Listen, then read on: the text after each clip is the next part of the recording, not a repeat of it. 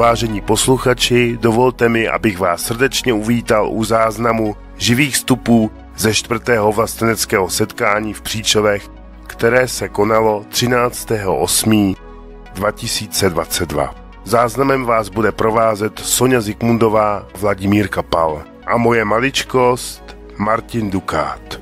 Hezký poslech.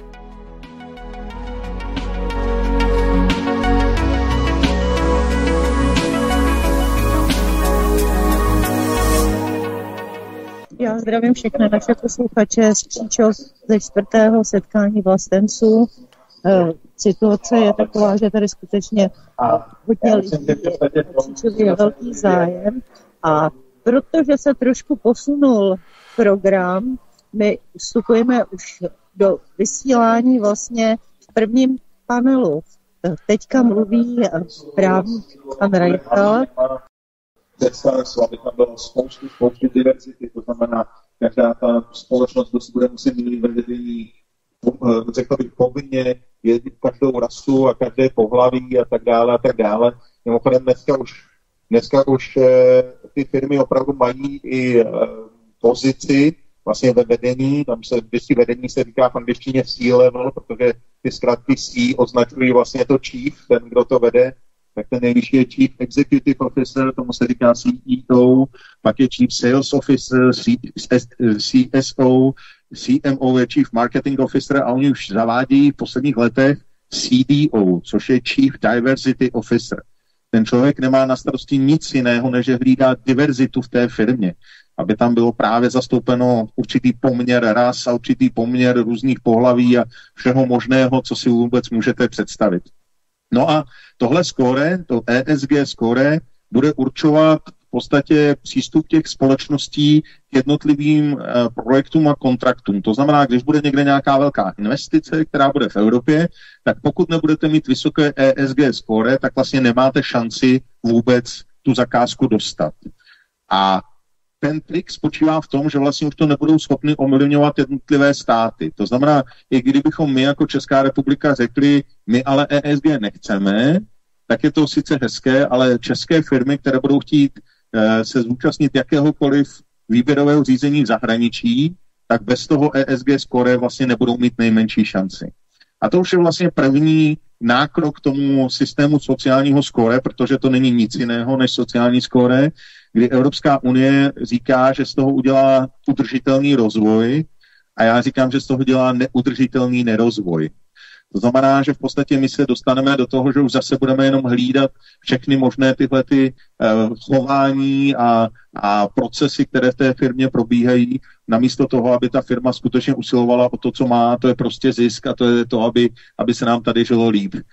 A e, jakmile tohleto ESG začne, tak to bude ovlivňovat opravdu veškeré firmy, banky, budou mít, budou mít firmy problém třeba získat úvěr, pokud nebudou mít dostatečné ESG skóre a následně to samozřejmě přejde, přejde na lidi. To je krok číslo jedna. No a pak přijde ten krok číslo dva a to je opravdu ta digitální měna. E, dnes samozřejmě mnoho těch článků, které se snaží už to jaksi uvést do praxe, kde už se týká, že Evropská centrální banka připravuje digitální euro, tak eh, využíváte popularity digitálních měn, jako je Bitcoin, Litecoin, Ethereum a další, ale neříká vám to podstatné. A to je to, že centrální digitální měna s tou decentralizovanou digitální měnou nemá absolutně nic společného. Protože zatímco bitcoiny a etherea jsou zaznamenány každá transakce v milionech počítačů na celém světě, a de facto je to neovlivnitelné, protože opravdu neexistuje jedno centrální místo, kde by se vedla, vedly záznamy o těch transakcích, ale těch míst je vlastně milion, tak v momentě, kdy to bude centralizovaná digitální měna, tak vlastně o kompletně jakékoliv transakci rozhoduje ta banka, která ji ovládá. A to bude prostě Evropská centrální banka. No a v tu chvíli samozřejmě přichází to, že v momentě, kdy ta banka má kontrolu nad vašimi penězi, tak má kontrolu nad vámi samými. E, určitě ten proces nebude okamžitý, bude, bude postupný, to znamená, nejdřív oni řeknou, bude existovat digitální měna vedle hotovosti, to znamená, budete mít jak hotovost, tak digitální měnu a budete si moci vybrat. Postupně se bude ta hotovost stahovat a zůstane jenom ta digitální měna. Aby vám ji krásně prodali marketingově, tak budou říkat, ten, kdo se bude chovat dobře, tak bude mít bonusy. Když budete mít nízkou uhlíkovou stopu, tak dostanete něco víc. Když budete se chovat hezky, tak jak máte, dostanete něco, něco navíc. A potom přijdou malusy. To znamená zase, že když nebudete se chovat hezky, tak vám trošku strhneme, až nakonec vám sebereme, co budeme, co budeme chtít. V podstatě od začátku uh, existence lidstva, kdy začaly vznikat peníze, nejdřív byl ten barter, ale potom začaly vznikat peníze, ať už to byly nejdřív sklíčka a různé šupiny, až se to vyvinulo v mince a bankovky, tak vždycky existovalo to, že jste měli možnost kapse mít nějakou hotovost, za kterou jste si mohli koupit alespoň potraviny, pití, základní věci. Tohle to je v podstatě naprostá revoluce, kdy už v té kapse nebudete mít vůbec nic budete mít pouze na nějakém čipu Eh, údaj o vašem účtu a na tom, na tom údaji bude vlastně úplně všechno. Uh, věřím, že opravdu marketingově to bude zvládnuté dokonale. Oni přijdou a řeknou, že vám sem dají takový čip do ruky, ani ho nebudete cítit a ten čip bude naprosto fantastický, protože on uh, vám bude určovat polohu vašeho GPS, to znamená, budete neustále vědět, kde jsou vaše děti, Eh, bude to skvělé z hlediska bezpečnosti. Bude vám umožňovat to, že bude filtrovat vaši krev a zjišťovat, jestli nemáte náhodou COVID. To bude propojené s vaším telefonem, takže vám okamžitě to řekne, kdyby náhodou byl COVID, tak vám telefon zabliká a řekne pozor, jste COVID pozitivní, rychle, rychle, rychle. Eh, bude tam eh, vaše, vaše, eh, vaše klíče od auta, budou tam klíče od vašeho domu, bude tam vaše občanka, bude tam úplně váš řidičák, bude tam úplně všechno. Řeknou vám, že už nebudete potřebovat vůbec nic jiného a samozřejmě to bude vlastně i vaše kreditní karta. Tak jak platíte mobilem dneska, tak jenom takhle zaplatíte a, a už, to, už, to, už, to bude, už to bude perfektní. V tu chvíli samozřejmě tady bude celá řada lidí, která na tohle to poběží stát frontu protože bude říkat, to je fantastický, to je úplně geniální, to je to nejlepší. Ale problém je, že samozřejmě v tu chvíli opravdu jste naprostými otroky toho systému, protože kdokoliv, kdykoliv bude chtít, tak vám ten čip bude moci vypnout. A to je samozřejmě obrovské nebezpečí. Dneska už prosakují informace, že už se připravují vlastně čtyři skupiny lidí, kteří budou eh, podle umělé inteligence rozsortovány. Eh, ta první se bude označovat C, to budou common, jsou obyčejní nebo obecní, těch bude asi 95%. Uh, ti dostanou nějaký základní příjem v tokenech a ten si budou moci u, u, utrácet. Ideálně to bude asi nepodmíněný základní příjem, to znamená, nebude to muset asi vůbec pracovat, ale to dostane každý, třeba těch tisíc tokenů na začátku. S je sovereign, to jsou lidé, kteří nebudou omezeni ničím, to je ta 0,1% té populace, kteří budou moci úplně všechno. A budou ti R, to je restricted, to budou ti, co budou trošku zlobit, tak ty už, to, ty už budou jaksi omezováni v těch svých příjmech. A poslední písmeno je Q, to jsou quarantine, a tam budeme my. A ty, my, už si, my už si v tu chvíli, až budete chtít sem jet třeba tady do Příčov, no tak eh, jednak nám to třeba u benzinky nedovolí natankovat a na vlakovém nádraží vám to napíše, že bohužel teda nejedete, protože vy jste to kvéčko a vy nikam, vy nikam jezdit nemůžete. A to je opravdu prostě do, do, dotažený systém do dokonalosti na maximální kontroly. Víte, eh, co svět světem je, tak eh, vždycky se ta vrchnost snaží kontrolovat lidi. To je, to je v podstatě jaksi přirozená vlastnost, ať už to bylo otroctví, ať už to bylo prostě poddanství, nevolnictví, vždycky se ti lidé snaží kontrolovat ty, ty, ty, ty své poddané tam dole a snaží se vlastně uspůsobit si ten svět obrazu svému. Ale tohle to je nástroj, který tady ještě nikdy nebyl a který jim dává do ruky opravdu naprosto neuvěřitelnou motu, se kterou si potom už můžou dělat cokoliv chtějí. A já se obávám, že ten COVID, který tady je v současné době, respektive covidismus, abych byl úplně přesný, ten režim, který vlastně udržuje lidi ve stavu poslušnosti a zároveň ta energetická krize, tak jsou vlastně nástroje k tomu, jak ty lidi přesvědčit, aby na tenhle ten systém přistoupili. Protože se opravdu může stát, že až v zimě tady nebudete mít na plyn, nebudete mít na elektřinu a nebudete mít na potraviny, tak někdo přijde a řekne, jediná záchrana je úplně změnit ten systém, vlastně zavrhnout tu měnu, tak jak ji známe, protože už nestačí na to, abyste si koupili plyn, abyste si zaplatili za potraviny a musíme tady udělat nepodmíněný základní příjem, tak aby lidé nezmrzli a nezemřeli hlady. Takže každý z vás dostane těch tisíc tokenů a s těmi bude moci, bude moci pracovat.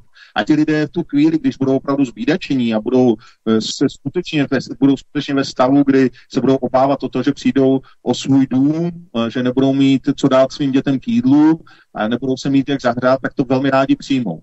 A to bude ten střed, kdy my budeme nabízet jinou cestu, my budeme říkat, musíme zůstat u té, u té současné hotovosti a u, toho, u té současné svobody a oni budou říkat, my vás zachráníme. To není, že vám něco vnucujeme, my vás jdeme zachránit. Tak jako vždycky, když chce někdo něco prosadit z té vrchnosti, tak nás jde zachránit. Nikdy to nedělají pro sebe, vždycky to dělají pro nás.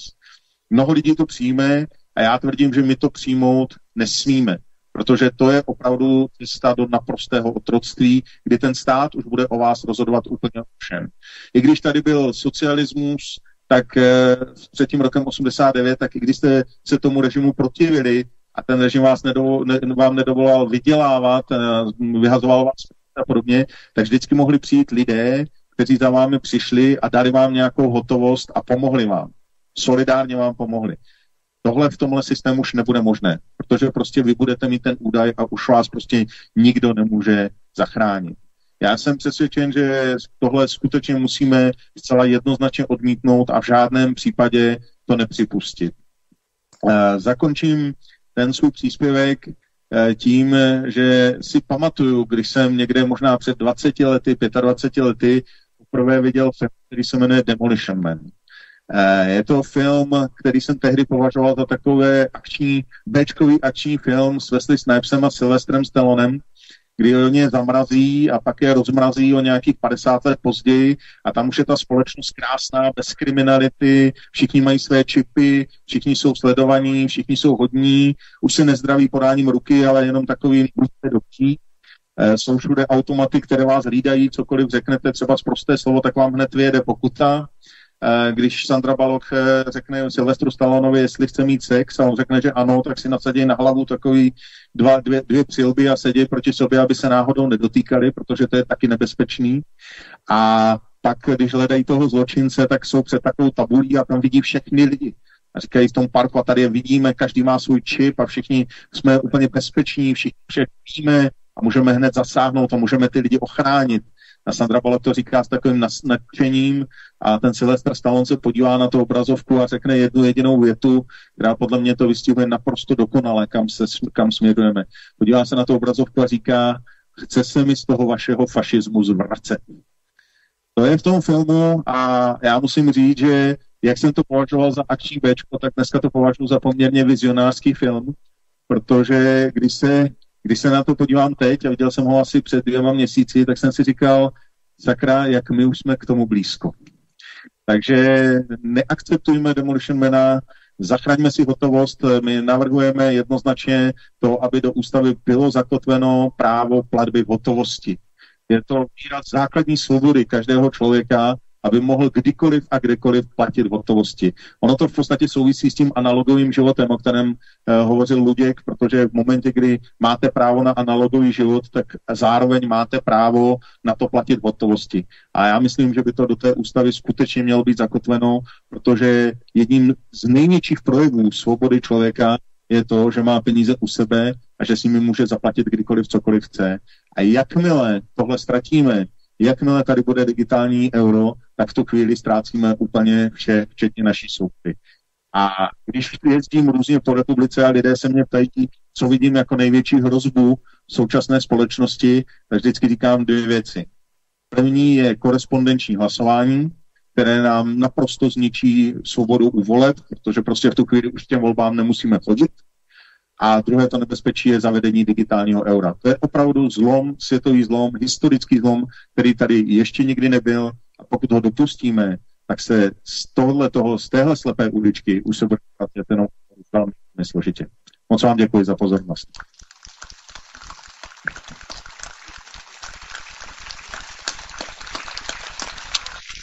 Já s dovolením ještě Jindru doplním o jednu drobnou věc. On zmiňoval, všichni budete mít ten čip na té kreditní kartě. Nebudete. Vy ho budete mít pěkně šoupnutý do té ruky, tak jako se čipují kterých si to vyzkoušeli.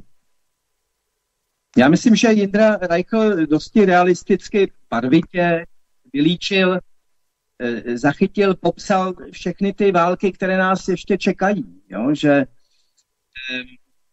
a, a se ukázal další jako rys eh,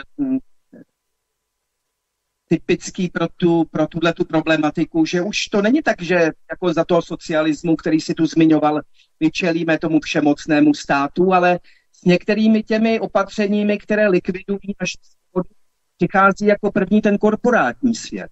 Tady dochází k takovému zvláštnímu, si zmínil ten fašismus, k tomu propojení toho státního veřejného sektoru s tím soukromým. Vidíme, že celou řadu těch progresivních myšlenek ve věci toho genderismu a tak dál přinášejí ty nadnárodní firmy a ta, ten státní aparát kulhá prostě za tím po, pokrokářským jako slouží přesně tak. Čili tady dochází k privatizaci státu, k tomu, že ten stát se dostává vlastně do područí těchto těch jako eh, malých skupin eh, těch nadnárodních oligarchů, eh, takže ono se to tváří na to, že to je nějaký stát.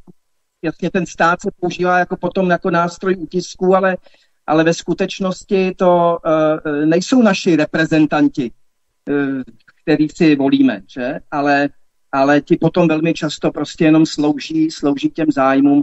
Ostatně vidíme to velmi barvitě dobře na, na, té, na té současné české vládě. Já jenom, jestli můžu k tomu doplnit, já myslím, myslím že jak, jak si tohle není tam, kam směřujeme. My už tam dávno jsme. Ne. A řekl bych, že ty poslední dva roky jsou toho naprosto názornou ukázkou.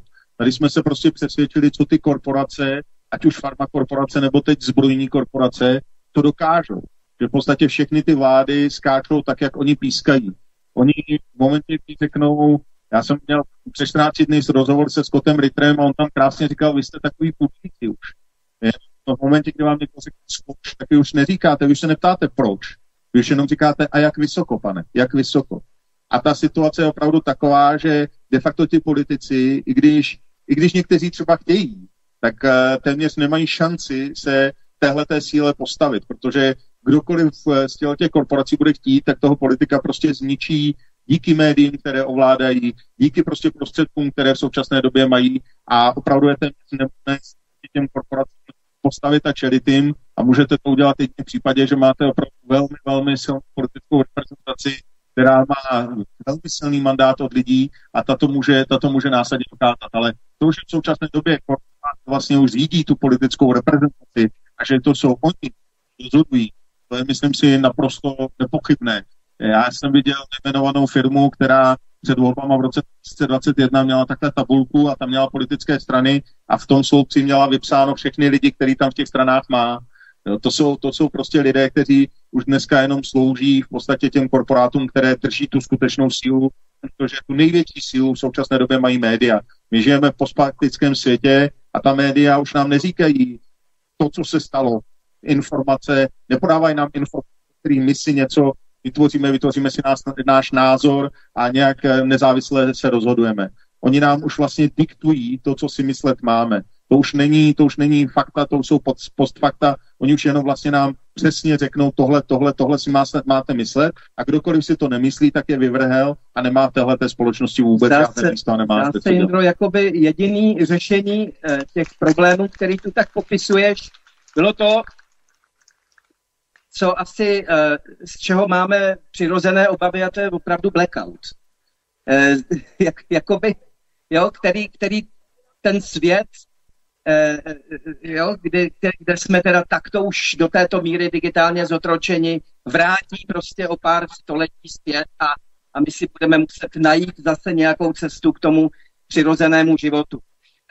Ty si tady zmínil to právo na hotovost. Um, vlastně už teď, myslím, že to byla senátorka Jitka Chalánková, která s tím, která s tím vystoupila a tuším jako jediná tedy zatím, ale pevně věřím, že až se k ní přidá po letošních senátních volbách Ruska Majerová, která kandiduje v Olomouci, tak nebo senátoři za, za Jindrovou stranu pro, takže se Kice Chalánkové připojí a že přesně tenhle ten, tuhle myšlenku jako budou programovat. Trikolora by s tím byla jako úplně první ještě, která vlastně s tímhletím, s tímhletím podnětem přišla.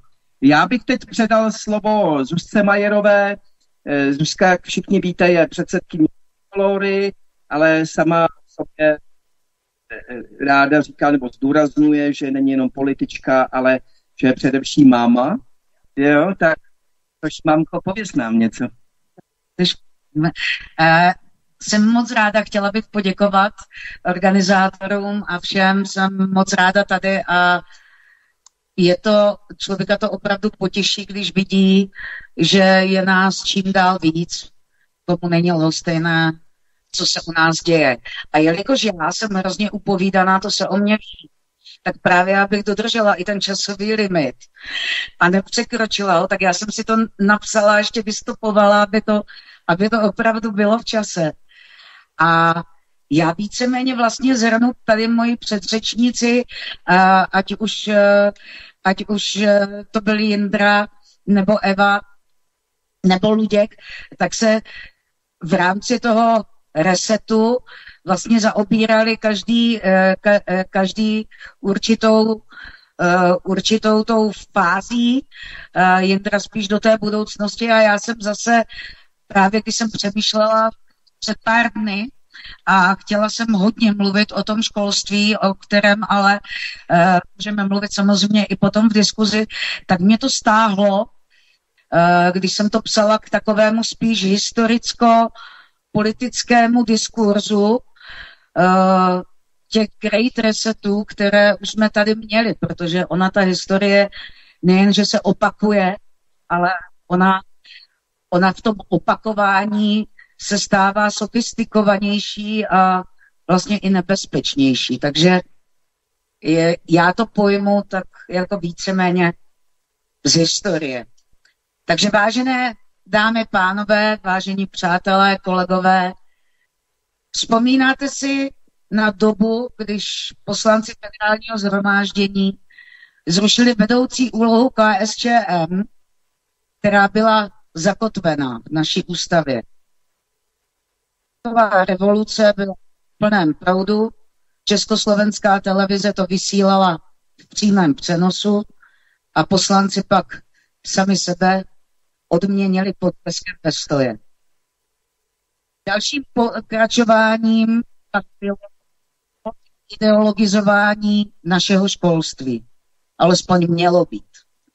Mysleli jsme si tenkrát, že je to velký historický předěl. Mě bylo 17 já se tu dobu vnímala velmi euforicky a autenticky. Ale dneska, když se k tomu díváme a vracíme vlastně zpátky i s vědomím toho, co mnozí z nás v té době nevěděli, tak to byl jeden z těch velkých resetů.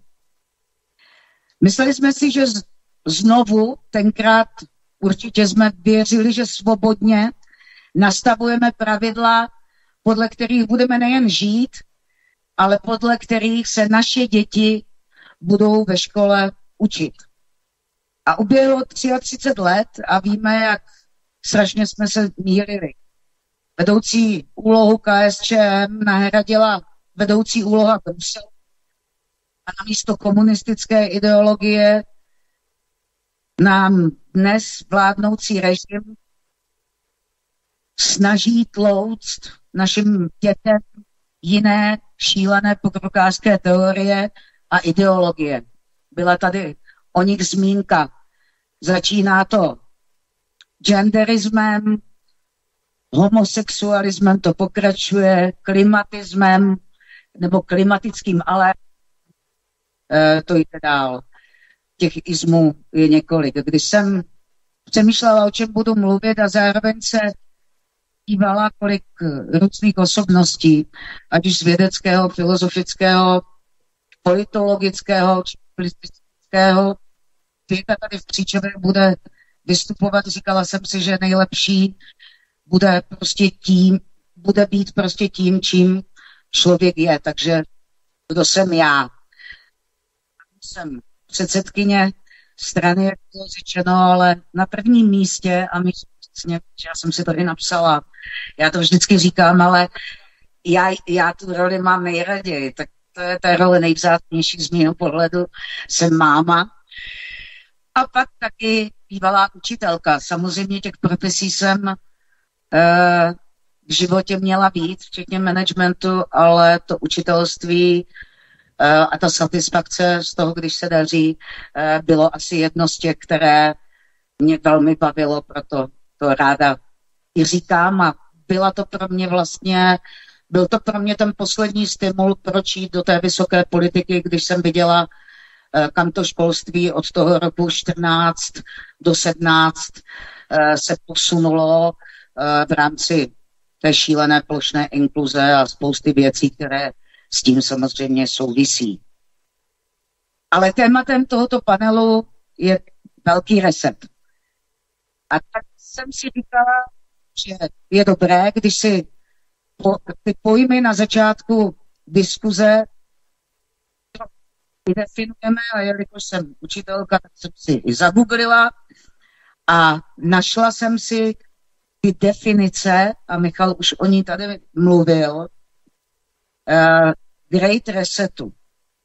A o iniciativě Great Reset, což je ten název plánu hospodářské obnovy, vypracované Světovým ekonomickým fórem v reakci na pandemii COVID-19. Tento projekt byl zahájen v červnu 2020.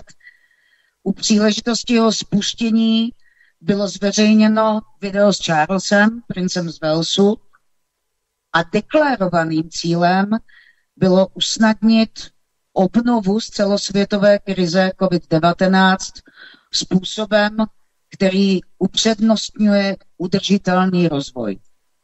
To, jsou, to je strašný balast, když to čtete. Generální ředitel to Světového fóra, již zmíněný Klaus Schwab, popsal tři základní složky velkého resetu. Takzvané vytvoření podmínek pro ekonomiku zúčastněných stran, budování odolnějším spravedlivějším, toto taky již byla řeč, a udržitelnějším způsobem s využitím, a o tom mluvil Jindra, environmentálních, sociálních a správních metrik a inovací čtvrté průmyslové revoluce. Další jména politiků, kteří se ve svých projevech velkým resetem zaklínají, jsou ku příkladu americký prezident Joe Biden či kanadský premiér Justin Trudeau. Ti všichni a spolu s nimi řada dalších, aniž by se lidi ptala, zdali to tak chtějí, tak eh, jediné, co chtějí, je náš svět přenastavit. Takže co jedního ten velký reset je? Není to nic nového pod sluncem. Pár hlavonů, kteří si myslí, že všechno vědí lépe než ostatní, si opět usmysleli, že svět má tancovat, jak oni pískají. Nechci sát do svědomí, možná to myslí dobře, jako učitelka a máma, ale moc dobře vím, že prakticky vždycky dojde na to staré pořekadlo, že cesta do pekel bývá, bývá vždy vlážněna těmi dobrými úmysly. Děti jsem vždycky ve škole učila, aby kromě memorování vědomostí, které je zcela jistě důležité, teď se snaží od něho odklánět, ale je důležité, ale je velice nutné umět si dát věci do souvislostí.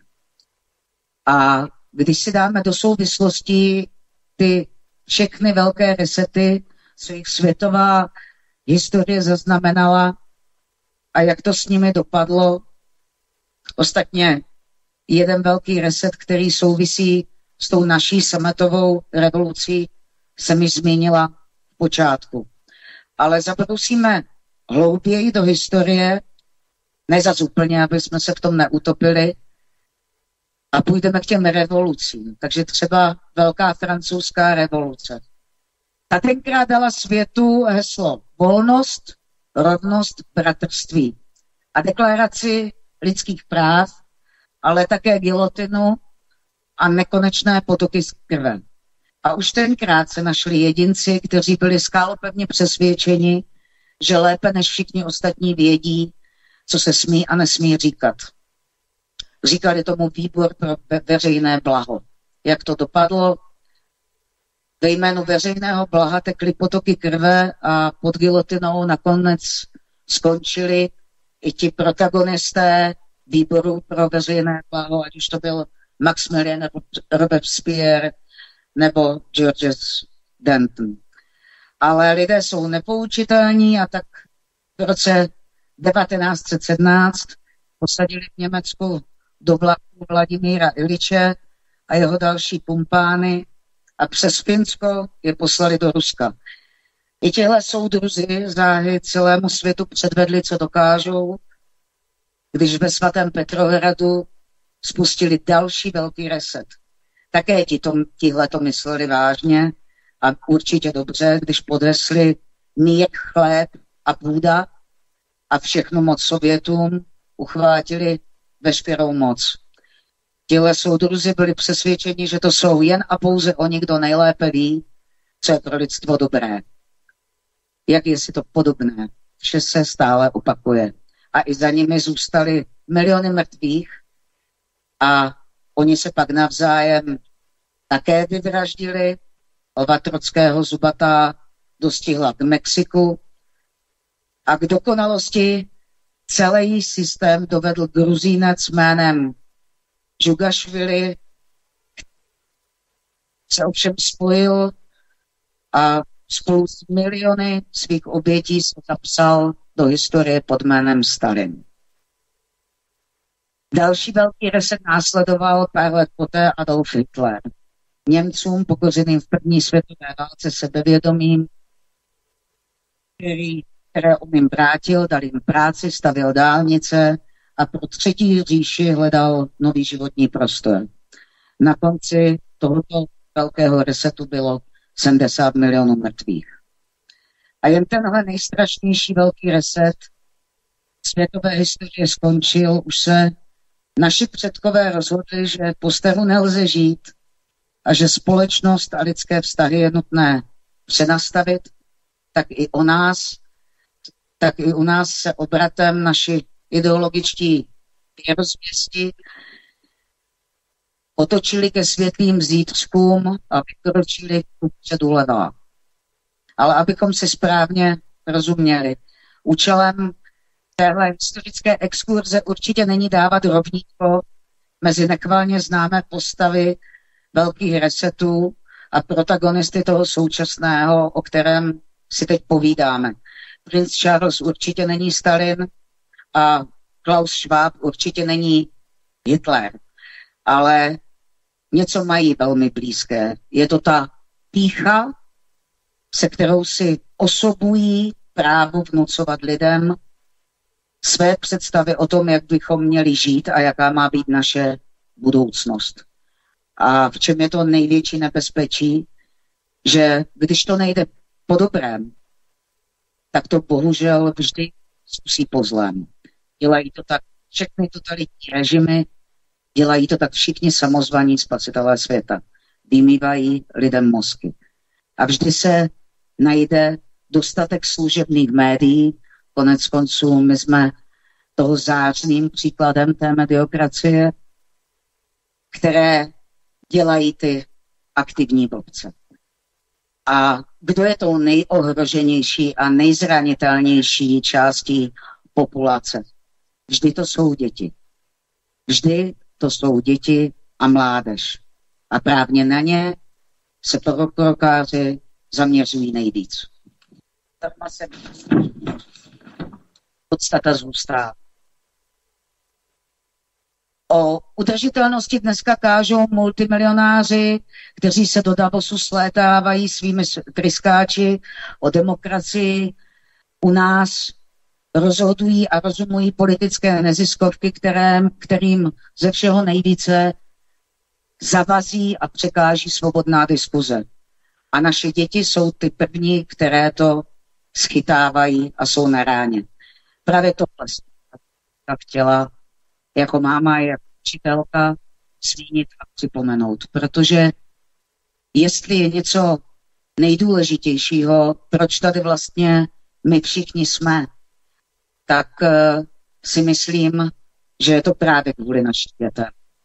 Kvůli nim se musíme být na pozoru, kvůli nim musíme dělat maximum pro to, aby nezdědili po nás svět, který může být daleko víc zkažený než ten, ze kterého jsme si v 89.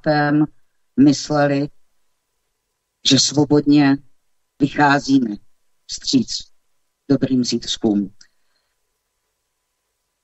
Jestli s tím chceme něco udělat, musíme samozřejmě začít každý sám u sebe, ve své komunitě, té nejbližší, ve své rodině, ve vzdělávání a otvírání očí našich dětí. Já musím říct, že mně se to s mýma klukama povedlo. Jsem za to moc vděčná, protože znám spoustu rodin, eh, kde jsou děti, ať už typem škol, na které chodí, eh, chodí či okruhem přátel, se kterým se stýkají úplně jinde než rodičové a chápu, že se mnohdy uh, přátelé tím trápí, protože tomu nerozumí. Takže v tomto teda musím říct, že jsem požehnaná přeji to vám všem ostatním taky. Věřím, že, toho, že to tak má spousta z nás.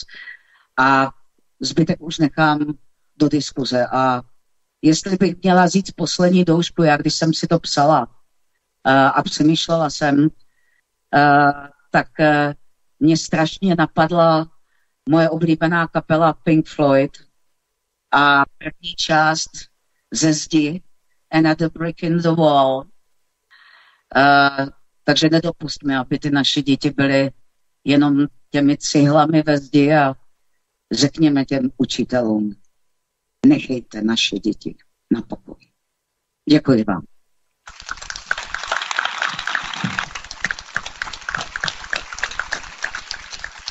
Děkuji, děkuji Zuzko. Já jsem velice rád, že si tady připomněla nebo zdůraznila to, že velký reset nezačíná s covidem a s Klausem Švábem, že to je jenom přejmenovaný pokus neustále uh, tou právě píchou měnit svět. Většinou ten svět ani ne tak sebe nebo uh, k lepšímu, ale, ale vždycky je tam ta ambice proměnit ten svět. Všimněte si, že všechny tyto pokusy přicházejí s myšlenkou nového člověka. Nová společnost. Prostě ta, to novátorství. Starý svět končí, my přicházíme s nějakou revoluční novou představou toho, jak má člověk žít, jak má myslet, jak má být společnost ustavena, jak má žít. A, a toto je vlastně společný jmenovatel všech těch historických velkých resetů. Takže to jsem moc rád, že tady zaznělo. V té souvislosti si dovolím upozornit tady na jeden zajímavý stánek, ne, že by ostatní nebyly zajímavé, všechny jsou zajímavé, ale tady je stánek nakladatelství Christianitas a to vydává knižky, které upozorňuje na jiný reset, který proběhl v katolickém prostředí. Tady jste si možná všimli toho baneru zpět k tradici. Jo, protože um, pokud jsou mezi námi tady katolíci, tak možná víte, že proběhl cosi jako druhý vatikánský koncil a že dnes vlastně v církvi dominují ty progresivní, liberální um, tendence, čili katolíci mají také svůj už nějaký velký reset za sebou a, a je tam také nějaké hnutí podporu a tady to nakladatelství, to je jedno, jedno z nich.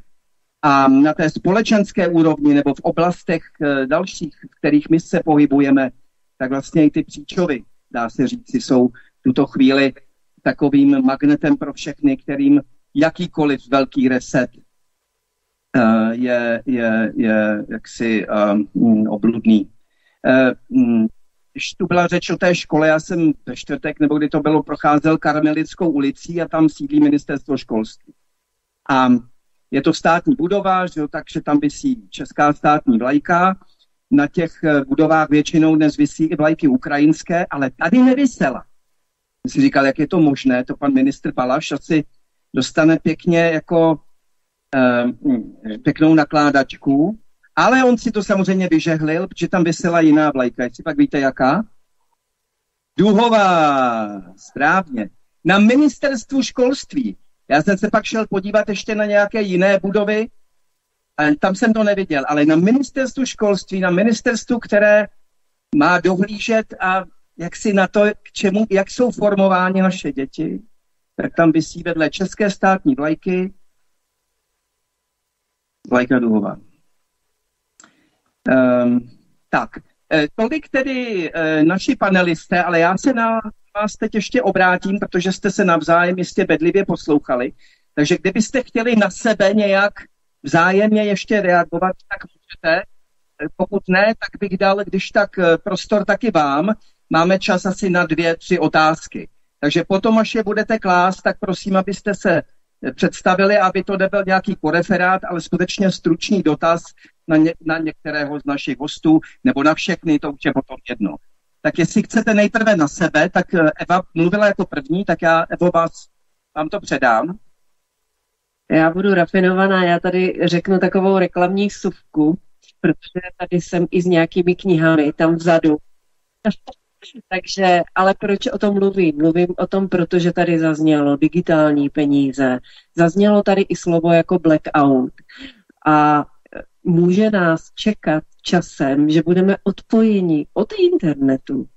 A je potřeba budovat uh, sítě lidských setkání.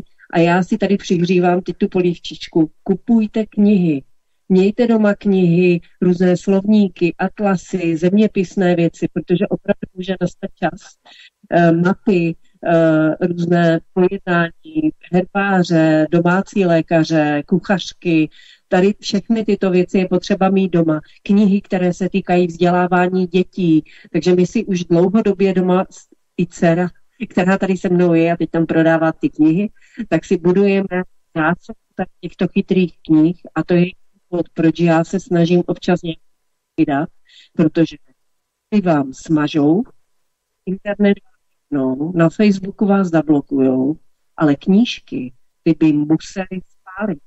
A to už je tak velká věc, že k tomu se asi nedostají. Takže je dobré ty knihy mít.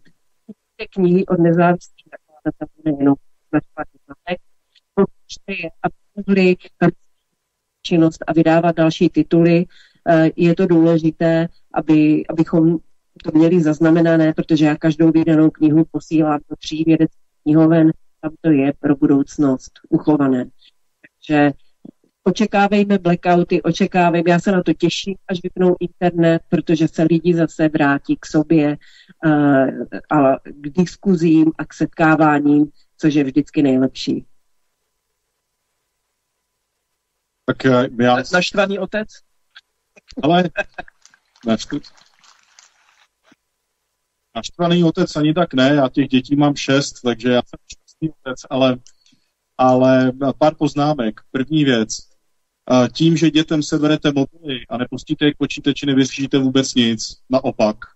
Ještě, ještě horší situaci než eh, ostatní vrstevníci. Vy je musíte naučit, jak se s tím zacházet a hlavně musíte naučit používat tuhle tu zbraň proti těm, kteří to celý spustili. To je první věc.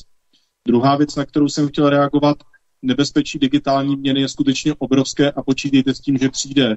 A oni vám neseberou jenom, jak říkala Evča, internet. Oni vám postupně vypnou ledničku, oni vám vypnou um, auto, oni vám vypnou všechno, protože tam všude už ty čipy jsou. Takže opatrně s tím, nebát se toho, na druhou stranu stále mít uh, na vědomí, že ta data jsou virtuální, z dne na den můžou zmizet a zůstanou vám jenom ty ruce. Tak. A knihy. Já, protože mám rád vždycky to odlehčení, tak já musím říct, že ten, jenom ten německý zákon, který tady byl zmíněn, že si budete moci měnit každý rok to pohlaví, tak to podle mě je fantastický, protože že je držet světový rekord nějaké disciplíně, jak v kategorii mužů, tak v kategorii žen, což si myslím, že bude opravdu excelentní. Nevím, jestli jste to viděli teď v Americe, jak se tam nějaký student prohlásil za ženu a soutěžil v plavání a zlepšil eh, americký univerzitní rekord asi o 15 vteřin. Plaval všechny patény.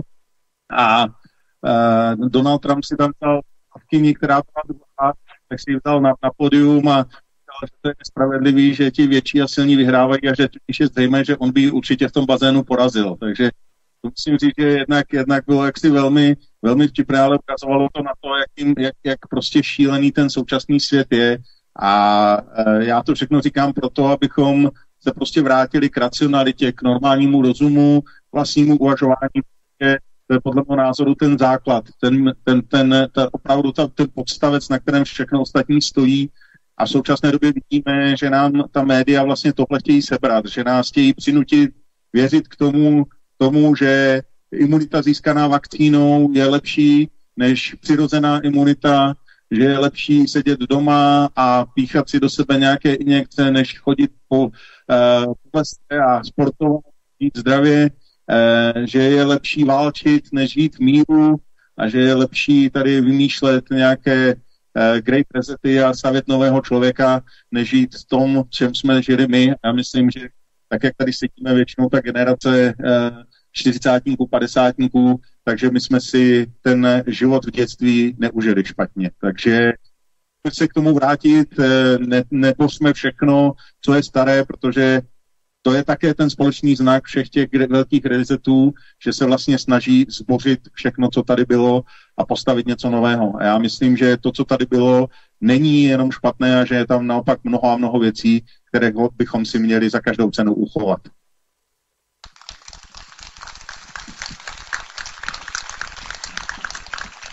Já, já ještě teda taky e, takovou doušku a dík za to, jen řekl o tom dětství, protože já jsem zrovna nedávno si tak něco psala a fakt jsem si uvědomila, že ta svoboda uh, našich dětí ještě let, kde na těch vesnicích nějakým, způsob, nějakým způsobem funguje, ale ty děti, ty městské děti, ty panelákové děti, tam už je to fakt někdy složitější. Ale co jsem chtěla říct, já jsem přemýšlela nad tím, co říkal Luděk a když to člověk poslouchá, tak má kolikrát už opravdu pocit zmaru, že vše je ztraceno, nebo nejlépe useknout si tu ruku, když mluvil o těch čipech. To bylo první, co mě napadlo. A pak, u, když Jindra mluvil o těch penězích, tak jsem přemýšlela nad tátou, že jo, jak ten můj starý táta by to, by to zvládl a tak jsem si říkala, že ten pocit zmaru a beznaděje jsem tam zakvátí každýho z nás asi. Ta doba není úplně lehká, aby člověk pořád byl nabitý tím uh, optimismem. Ale jak se říká, it's not over till it's over a já osobně si myslím, že naděje je opravdu to, co umírá poslední. A mě to tak napadlo u sportu, že kdysi, protože moje rodina e, byla vždycky sportovně velmi založená, byli jsme k tomu vedení. A když ve sportu si ti sportovci určí nějakou metu, která se zdá být nepřekonatelná, tak ve chvíli, kdy ji někdo překoná, tak potom se objeví vždy přeci spousta těch dalších, kteří nejen, že ji překonají, ale kteří ji ještě vytáhnou dál a pořád se to posouvá. Snad jediný člověk, eh, kterého už nikdo nepřekoná, je Jarka Kratochvílová, která to, myslím, drží už 38 let. Ten svůj svět, a ona taky byla atomová. Ale že jsem chtěla říct, že vždy člověk když ho přepadne, takový ten pocit, jako to nejde změnit. Ale v osmdesátkách jsme si taky říkali, že to nepůjde změnit.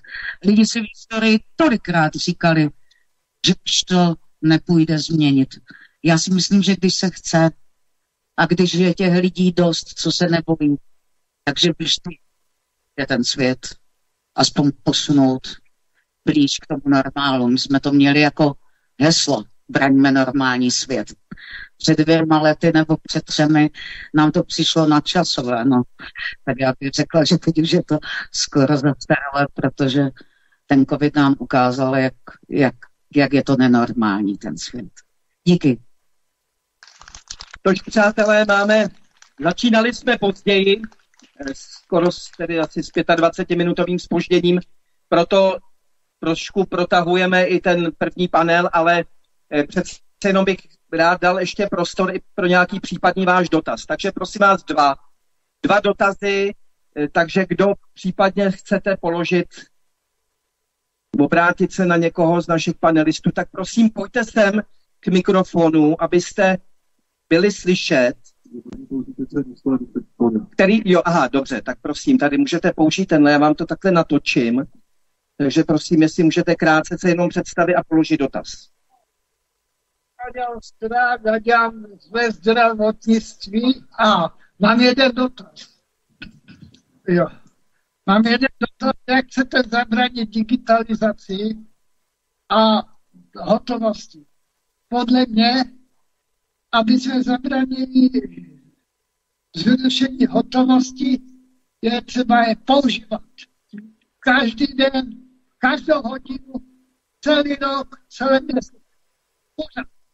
Nejenom brát mobily, si do obchodu, zaplatím mobilem, všude, všude to je vybrané, tak prostě jedině hotovost používat denodenně Ano, dotaz máte nějaký? Jak to, Jak, jak tomu? jak to chcete zabrat?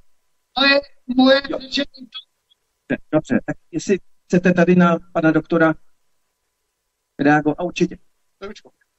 Tak prosím vás, eh, pán má naprostou pravdu. My musíme používat hotovost, jezdit auty, které nejsou vybaveny elektronikou, nebrát si hypotéky. To je jedna cesta, kterou může udělat každý sám. Druhá cesta je, je to, eh, je se eh, v tom systému házet, jak já říkám, házet písek do toho soukolí, snažit se konstatovat různé ustanovení, které budou tomu bránit, ale na začátku je každý sám s tím, že tu hotovost bude používat a bude to vyžadovat u svých obchodníků, aby mohl platit hotovostí. To je na každém z nás.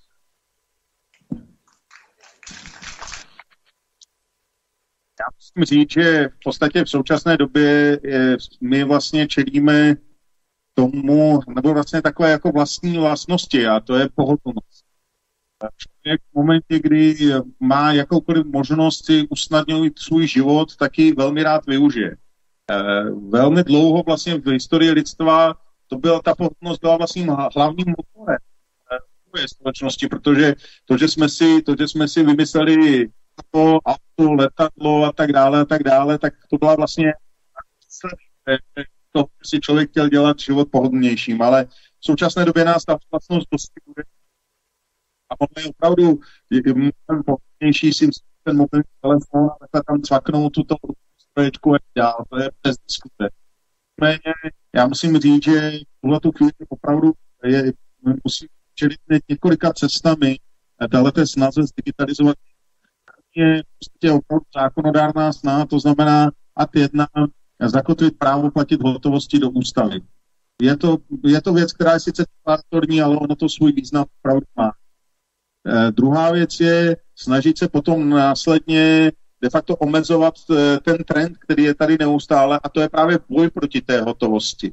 Dřív jste mohli hotově platit, co chcete. Pak přišlo to, že se to omezilo na 20 tisíc euro, pak na 10 tisíc euro a za chvíli samozřejmě ty banky to nebudou chtít vůbec. Víte, já, já když přijdu do banky a přinesu tam peníze a oni se mě ptají hotovost, jako kde, kde je ten zdroj, tak já jim říkám vždycky, co je vám do toho. Jo? Vy jste tady prostě jenom, jenom moje eh, v podstatě trezor, do kterého já si ty peníze jdu dát, platím vám za tu službu a vy se mě na to vůbec nemáte co ptát. Ale nejhorší je, že v posledních letech, já když si jdu vybrat svoje peníze, tak oni se mě ptají, na co to mám. Jo?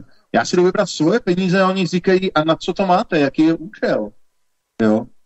Tak já jim vždycky, vždycky říkám s oblibou, omlouvám se, ale vždycky jim říkám, no to je na chlasta na děvky. A oni, prosím. Já říkám, no tak chci si udělat hezkou party večer, tak chci vzít nějaký peníze. Oni říkají, to tam nemůžeme napsat. Já říkám, no to tam napište, protože já vám nechci lhát. Takže já chci, abyste to tam napsali Oni z toho jsou vždycky vyplašení a nevědí, co s tím mají dělat. A podle mého názoru je to věc, která je opravdu jaksi důležitá, abychom tohle to neumožňovali, protože ono se to dělá vždycky zase. Jo. Vždycky vlastně ta emoce, která řídí poslední leta našeho života, je strach. Prostě od, od někde roku 2001, kdy byl útok na Světové obchodní centrum a najednou se začalo říkat, musíme bojovat proti různým převodům, protože to je to financování terorismu a podobně. To byl právě důvod, proč se začaly omezovat hotovostní transakce. A vždycky tím strachem prostě manipulujete a ovládáte lidi. Když jsem mluvil se Scottem Ritterem, on říkal jednu zvláštní věc, kterou když jsem si, když jsem si vlastně potom uh, uh, tak jsem vlastně jak obrovskou má pravdu. Říkal, víte, my jsme ještě jako Amerika, my jsme v roce v 80. a v 90. letech byli Lambrand, všichni nás milovali, všichni říkali, Amerika je skvělá, úžasná, chceme tam žít, to je ta země té svobody. A říká, my jsme během 30 let dokázali to, že nás všichni nesnáší. Celý svět, který nás miloval, tak nás všichni nesnáší. A to je prostě opravdu neuvěřitelná záležitost, co se, co se tady stalo všemi těmi výbojnými válkami a právě tím šířením strachu, který je vlastně dominantní emocí v posledních letech. Podívejte se, jak se neustále v podstatě žijeme ve strachu z něčeho, jak se lidé bojí a ta digitální technologie k tomu samozřejmě přispívá.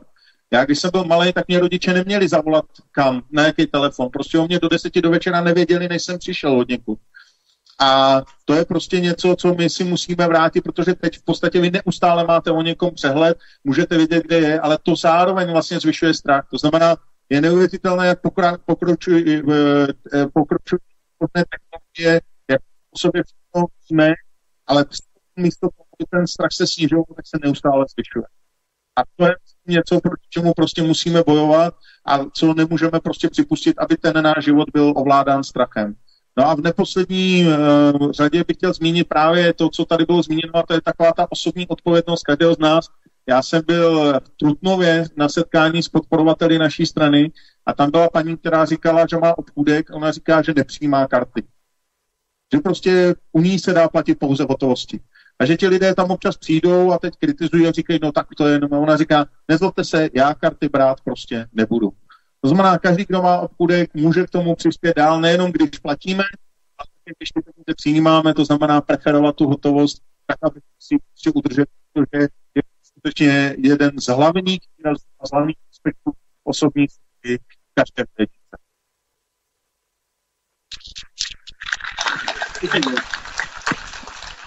Já jestli doplníte, tak já ještě Indru doplním, protože jsem tady viděl kluky z SPD, holky z Trikolory, kluky z Pročka, já si myslím, že nestačí zakotvení té hotovosti do té, do té ústavy. Tam je potřeba zakotvit právo To znamená, abyste nemuseli vůbec ten digitální svět navštěvovat.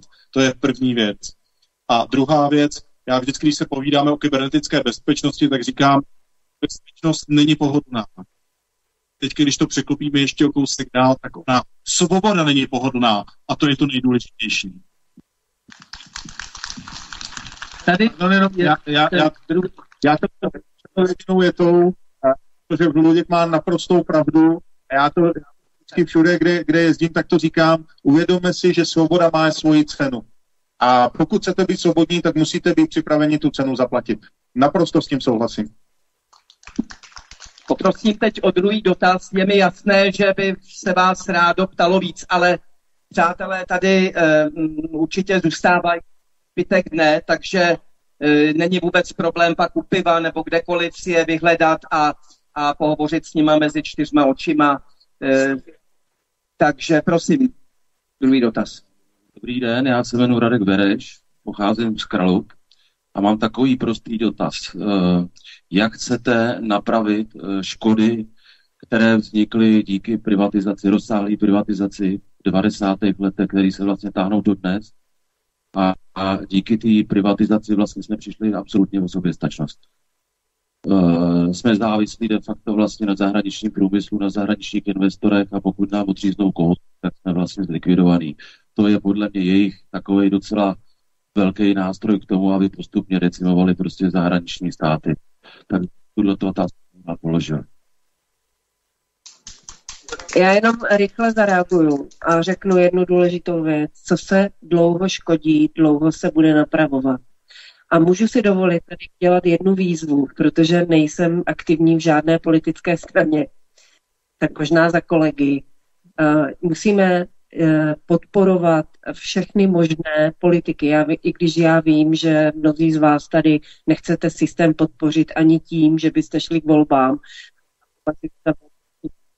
je potřeba, dnes máme dost informací, do Senátu, do Senátu poslat lidi, škodit, lidi, kteří tam budou opravdu uh, se ptát, uh, komplikovat přijetí zákonů, které se snaží.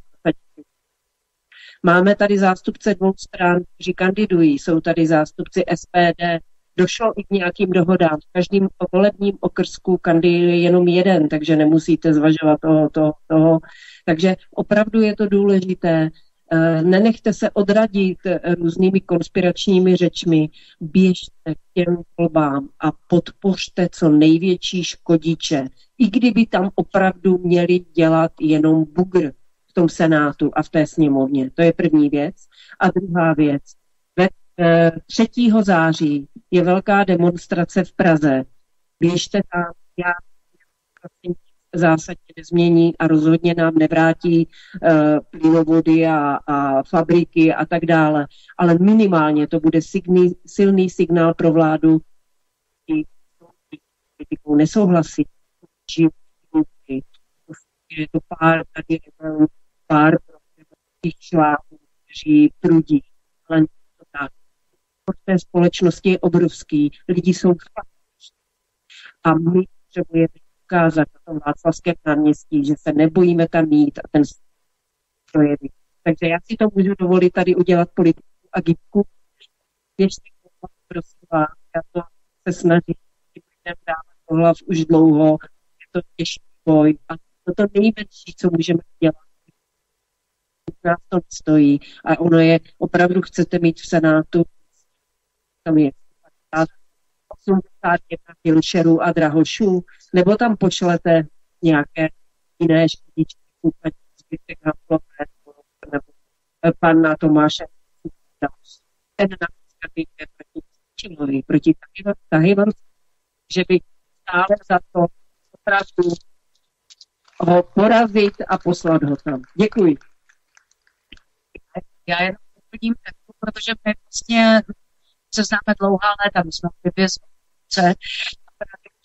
o těch špičích, tak uh, o mě se to v té naší bývalé straně vždycky říkají. Ja. Tak, a, tak musí nám škodit, nenechat. A proto já to mám i, já jsem představila jako v současné době, čím vyjádřím svůj postoj, že nikdy nepůjdu na rok. No tak mám, řekněme, vládě ne je to veliký, je to sice negativní, ale je to přesně, přesně to postihuje to, jak to cítím v současnosti. Musíme se tomu vzepřít.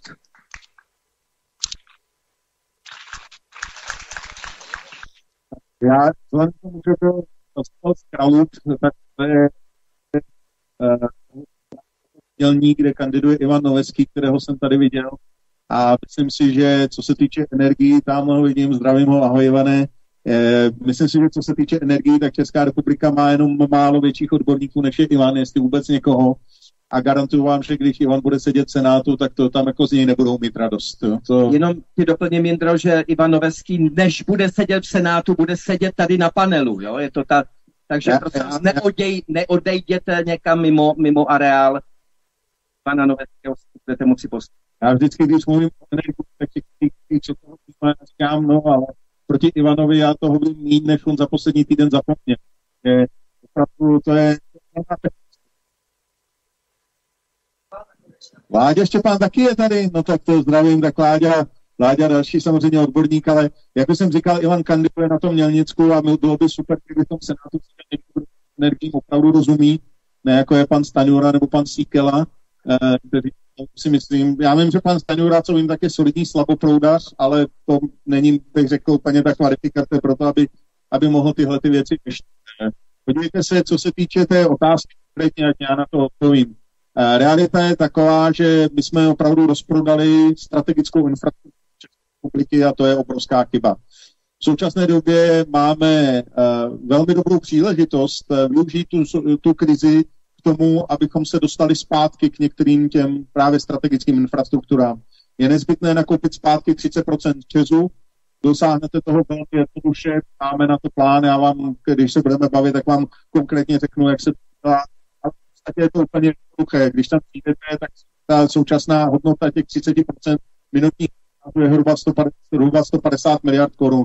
A když jim řeknete, že to buď to od nich koupíte, anebo oznámíte a prosadíte na valné hromadě, že příštích 20 let Čes nebude žádnou dividendu, bude šetřit na dostavku v Temelíně, tak vám to nabídnou sami, to vám garantuji, protože jim nic jiného nezbyde. Stejně tak musíme si Stejně tak si musíme jít zpátky vodu, kterou jsme rozhodali, je to, je to obrovská chyba, tak si musíme zpátky pro transferové sítě. Prostě tím vlastníkem strategických infrastruktur musí být stát a my to máme v programu napsané, co by strana pro a pokud budeme mít jednou vládní zodpovědnost, tak to bude jedna z našich hlavních priorit.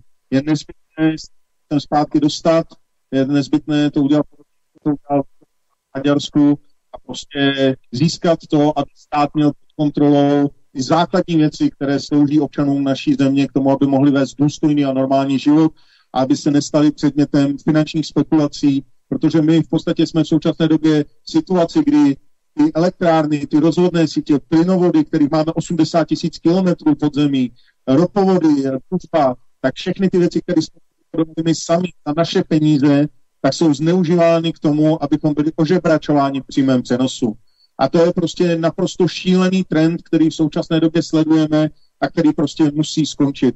Strategická infrastruktura musí patřit státu, předmětem finančních spekulací a obchodů na tom, aby bohatly korporace a chudnul občan téhle země.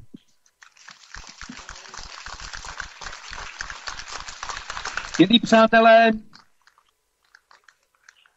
myslím, že to byl velmi důstojný vstup eh, do dnešního rokování. První panel je pomalu u konce.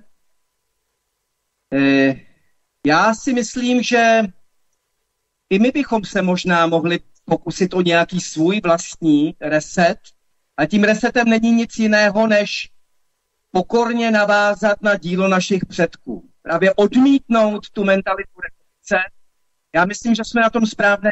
Když se podíváme směrem, jediná osoba, která tady mezi námi je, paní doktorka Tomková, zatím je jediná osoba, který samozřejmě se svými syny a maminkou a dalšími přáteli se udělat vojny. Před pěti lety to tady vypadalo, no prostě všechno tak asi jako, řekněme, průčelí tady toho zamku.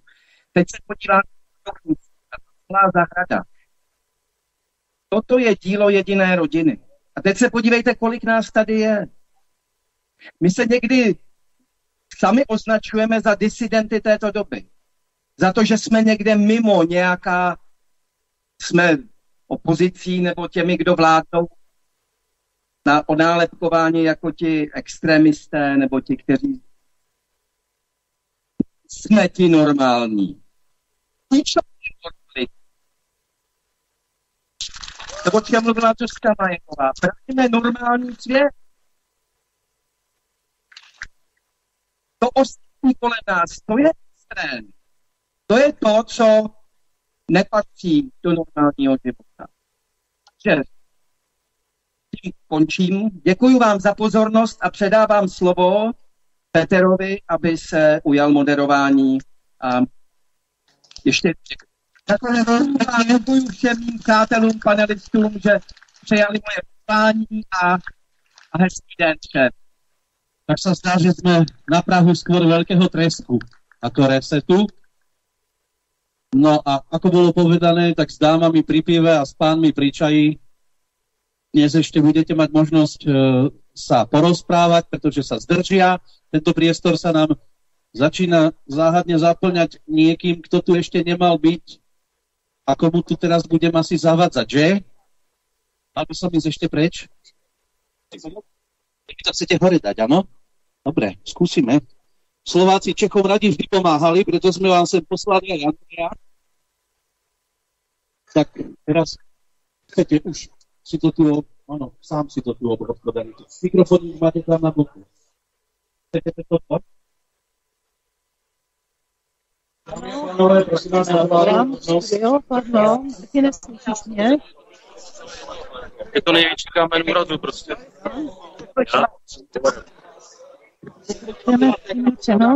Ano, jsme tady, jsem tady. Ano, výborně, Martine. No, takže, jak jste slyšeli, první panel skončil a v podstatě teď bude tady nějaká šuvka zřejmě kulturní. Od 13 hodin pak začíná další program, který bude právě o uh, ekonomii, hospodářství. Bude velice zajímavý, jsou tam zajímaví hosté, takže já tady navrhuji teďka do studia Kladno, že bychom si udělali přestávku a ve 13.00 bychom pokračovali v přímém přenosu uh, právě toho druhého panelu, který bude zhruba trvat asi do 14.30. Takže Martine, eh, tak jinak eh, je tady příjemně krásné počasí, velmi dobře naladění lidé, zajímavé příspěvky, ne vždy a ze vším musím souhlasit. To je pravda. Nicméně musím říct, že teda většinou teda muži měli příspěvky docela dobré k tématu, u žen to bylo ano, poněkud ano. slabší místama. No, musím já bych ještě říct. tady snad zmínila paní Hrindovou, která je teda skutečně uh, velice fundovaná, prima. Byl to moc hezký příspěvek.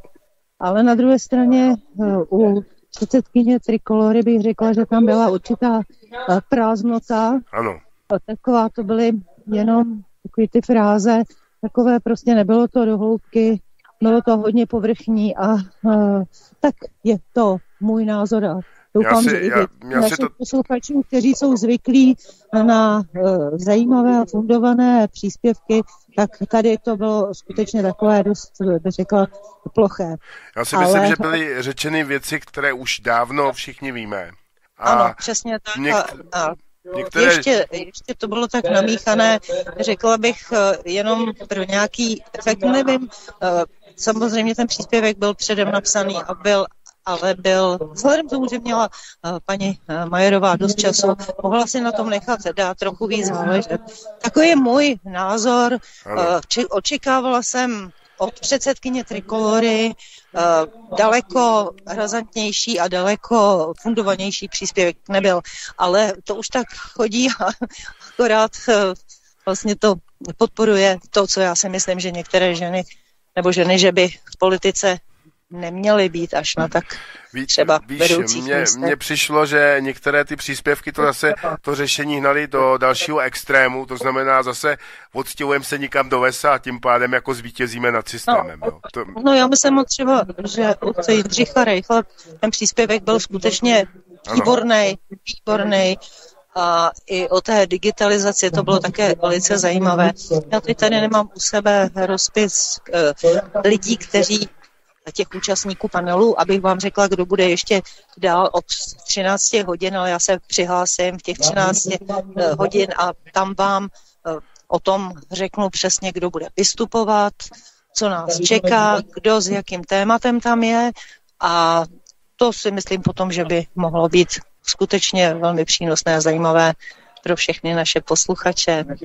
Takže z příčov uděláme teď přestávku a Těším se na tu 13. hodinu, kdy se znova přihlásíme a budeme pokračovat v přímém přenosu. Dobře. A vážení posluchači, vám přeji dobrý oběd a příjemně strávené poledne sobotního dne. Mimochodem je opravdu velmi krásně. Takže ve 13 hodin a slyšenou.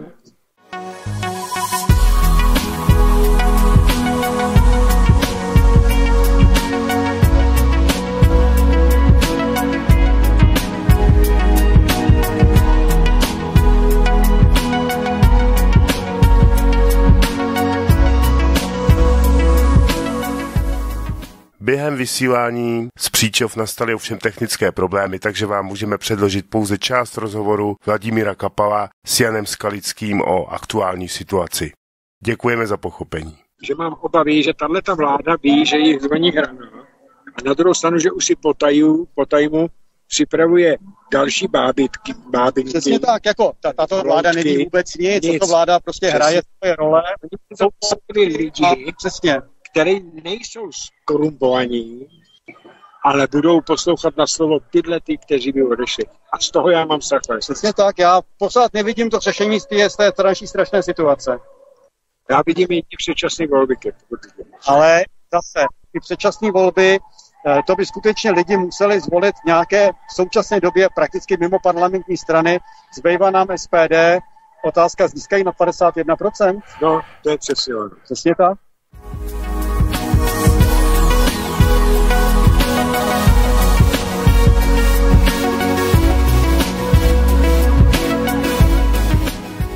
Pak se však vše podařilo rychle opravit, takže přenos mohl pokračovat. Tématem druhého panelu, který uslyšíte, bylo bída, hlad a sociální degradace jako následek dlouhodobé protinárodní energetické a zemědělské politiky.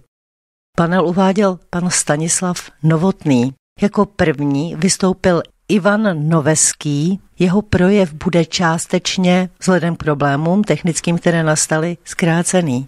Dále vystoupil pan Vladimír Štěpán za energetiku a poslední byl Zdenek Jandejsek. Jeho přednáška se týkala zemědělství. Tak, můžeme pokračovat. Takže teď je panel energetika, panelistů. Já nevím, říkat jedině panu který má pocit, že když bude větší DPH, takže ta ekonomika vzkvétá. Abych tady vzpomněl nejmenovaného jednoho pana prezidenta, ekonomika, trošku to budu párafrázovat, ekonomika nevzkvétá. To, že někdo vybírá více na DPH, to svědčí o tom, že nám všem ty peníze budou chybět. Protože to znamená, že to je inflace, to znamená, že to jsou opravdu šílené ceny, které e- energií, ať už se jedná o plyn, o které bude hořit vláda, nebo o, o tu elektřinu. Nám všem stoupají šíleně životní náklady. Nám všem bude chybět, budou chybět pracovní místa, protože ty firmy budou chtě nechtě muset propouštět, protože budou krachovat, protože nemají dneska, nemají na to, aby zaplatili elektřinu. V mnoha případech už došlo ke krachu. Takže to je jeden z těch bodů. Pokud nám někdo říká, jako pan premiér třeba, že akcionáři Česu, podotýkám minoritní akcionáři Česu, to znamená těch 30% zhruba, 70% drží stát, 70% z Česu. Pokud ty minoritní akcionáři mají právo na nějaký 4000% zisku a že to mají ze zákona, tak nevím, kde to pan premiér sebral, ale není to nikde v zákonech. Není to nikde v zákonech, naopak je to trošku v rozporu se zákonem o cenách a o dalších, a dalších zákonů. A fun, nefunguje tady bohužel energetický regulační úřad, protože energetický regulační úřad by měl především zejména, a má to jako pevný bod ve svém zřizovacím zákoně energetickém, měl by chránit zájmy spotřebitelů, což nečiní. To znamená, žádný 4000% a k tomu musí, když k tomu vezmeme, že dále se zaklíná pan premiér dividendama, tak dividendy, to je vždycky drobeček. Protože když si spočítáme dneska, teď řeknu číslo, který zatím asi nikde nepadlo, možná jsem ho řekl Xaviera. Když si, když si vezmeme dneska ten obrovský rozdíl mezi těmi cenami, které opravdu jsou zdůvodnitelné a mezi cenami, které dneska jsou, tak za elektřinu a za plyn ročně dáváme navíc 1 bilion korun. 1 bilion. Teď jsem se nesplet v řádech. Pozor, 1 bilion. To znamená, to je úplně šílený. Jo? A to samozřejmě se v té ekonomice nemůže ztratit. Tohle to dopadá na jednoho každého z nás a bude dopadat čím dále více. Jak budou ty firmy krachovat. Já bych jenom třeba po ilustraci, znovu se vrátím k dividendám, protože jestli stát dostane potom 18 miliard nebo 20 miliard na dividendách, to je kapka v moři. Kapka v moři z těch peněz. A když si třeba vezmeme v roce 2020, byla exportní cena elektřiny, která šla na burzu, 80 haléřů. Něco přes 80 haléřů. Čes měl tehdy, tehdy 22,8 miliardy čistý zisk, oproštěný ode všeho. V roce 2021, kdy už tu krizi soudruzi Brusou se jim podařilo ji rozpoutat opravdu ve velkém, tak exportní cena elektřiny činila 3,20 korun za jednu kWh. A Česu klesl čistý zisk na 22,2 miliardy z těch 22,8. Čili vidíte, že takové ty řeči, my vlastně na tom profitujeme a my všichni profitujeme, když ten Čes bohatne, tak my všichni jsme vlastně jakoby akcionáři skrze vás stát, jo, nebo někteří i minoritní akcionáři, což teda já nejsem, protože jsem do toho nešel, z určitých důvodů, trošku možná i morálních. To znamená, dneska jako Česká republika na tom chudne. Chudneme na tom, že tady bohatne jeden podnik a bohatne zcela nesmyslně na nesmyslně nespodnitelných cenách. Za tu dobu, kdy vlastně se rozpoutává celá ta krize, tak za tu dobu vlastně se tady nesprovoznila jediná jaderná elektrárna. Teď si vezměme, jak dlouho se vlastně jenom chystá výstavba jednoho bloku. Deset let, 15 let se to tady chystá a nikdo nebyl schopen říct definitivní slovo, ano, budeme stavět, za takové peníze a budou to stavět ty nejlepší. A mě je úplně jedno, jestli bude stavět francouzská firma, nebo jestli to bude stavět americká firma nebo ruská firma. Musí to být ta firma, která je nejlepší a která tady zaměstná nejvíc českých lidí na tom.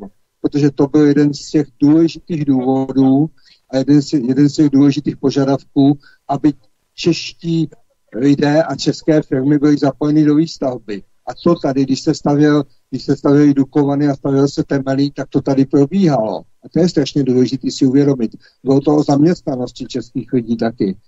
No a když se podíváme na spotřebu, tam já si s dovolením radši vezmu ta čísla. No, to by je mluvit a někdy ta čísla jsou přesná, kdybyste někdo z vás chtěl chytit za slovo. A když si vezmeme, jako Česká republika jsme zcela soběstační. Zcela soběstační ve výrobě elektřiny. Nemluvím o plynu, o tom bude mluvit Váďa, já to potom možná doplním. My máme dneska čistou výrobu elektřiny, po, říkám za rok 2021, 79 terawatt hodin. Z toho z jádra se vyrobilo 29 terawatt hodin, z uhlí 35 terawatt hodin. A spotřeba elektřiny čistá, vlastně malou odběry, velkou odběry, vlastně celá Česká republika dělá 60, necelých 62 terawatt hodin, čili 79 výroba, 62 spotřeba. Vidíte, že opravdu není žádný problém v tom, aby Česká republika si tady stačila s tou elektřinou a aby jsme nedělali žádné nesmyslné to, že někdo prodává za burzovní ceny, přestože ta elektřina samozřejmě na tu burzu nikdy ani nedojde. To je v podstatě jenom záminka přes burzu, že přes burzu se ty ceny vytvářejí. Je to nesmysl, protože ta burza v podstatě neexistuje. Jestli jsme tady měli 249 obchodníků s elektřinou a nějakých kolik, asi 150 teď nechci lhát, obchodníků s plynem, tak si uvědomíme, že všechno je to vždycky z jednoho zdroje, nebo téměř z jednoho zdroje. Ta elektřina je buď to z Česu, nebo ještě týkač vyrábí nějakou elektřinu, prostě je, toho, je tady téměř minimum. Plyn byl vždycky z Ruska, tady u nás, nikdy nebyl žádný jiný. To znamená, všechno to jsou jenom hrátky s vašima penězma, s našima penězma, penězmi, s penězi nás všech. To znamená, aby odešla Česká republika takzvaně od burzovních cen, není nikde žádný e, zákonný problém, protože zákon, žádný zákon nám nenařizuje prodávat za burzovní ceny zúčastnit se na burze. To je strašně důležité. Bohužel česká vláda v poslední době udělala šílené opatření, to, co jsem říkal, ty 74 miliardy, to je šílený a je to šílený z toho důvodu, že ta vláda ty peníze nemá, čili si je stejně musí učit. A za další, ta vláda ty peníze půjčila Česu na to, aby nadále mohl prodávat na burzu. Aby mohl prodávat na burzu. To je prostě úplně nonsens v době, kdy státy kolem nás, jako je třeba Maďarsko, vyhlásili stav nouze energetické, zakázali vývoz, tak my podporujeme vývoz naší elektřiny, dokud ještě něco máme, když víme, že v případě, že přestane foukat ruský zemní plyn, ať už přichází z Německa či ze Slovenska, to je úplně jedno. Takže v tom případě nám nebude zdaleka stačit ta elektřina, jak jsem říkal, tu bilanci. To platí, když se nenahrazuje zemní plyn elektřinou. To platí dneska, jaký jsou opravdu výroby a spotřeby. Takže to asi na ten úvod k elektřině bych si dovolil. Tak ještě, než eh, předám slovo Vladimíru Štěpánovi, tak jenom bych chtěl konstatovat, že Čes je náš jednoduše. Nejenom, že 70% tam ještě zůstalo, ale prostě tento stát ho neměl, ten, těm minoritním vlastníkům neměl nikdy nic toho Česu prodávat. Uvědomme si, že žádné investice nepřišly, že Čes je jenom tunelován. Celá ta léta je jenom tunelová. To znamená, netýká se to ani jenom této vlády. Už od dob Martina Romana, který eh, řídí všechny transakce dnes eh, z Londýna, tak se samozřejmě, kdy dostali obční program a zničil jim zničil nic, těm chlapcům ve vedení Česu spadlo několik set milionů do klína, tak od těch dob je systematicky tunelován. Ty americké a britské fondy, které se dnes na tom tunelování podílí, tak samozřejmě stojí výše než naši politici, kteří jsou prostě opravdu utřinosové. Takže je to strašně jednoduché. Jestli chceme dát energetiku dohromady, musíme si čes vzít okamžitě zpátky. Minoritní vlastníci tam nemají co dělat, zvláště po jejich hubených výsledcích, to znamená, že jenom kradli a nic pro tuto republiku neudělali. Ne, nevybudovali jediný nový solidní energetický zdroj. Ten jediný zdroj, který byl dobudován, to byl ten, který začal být stavěn v 80. letech a to, jsou, to je Temelín.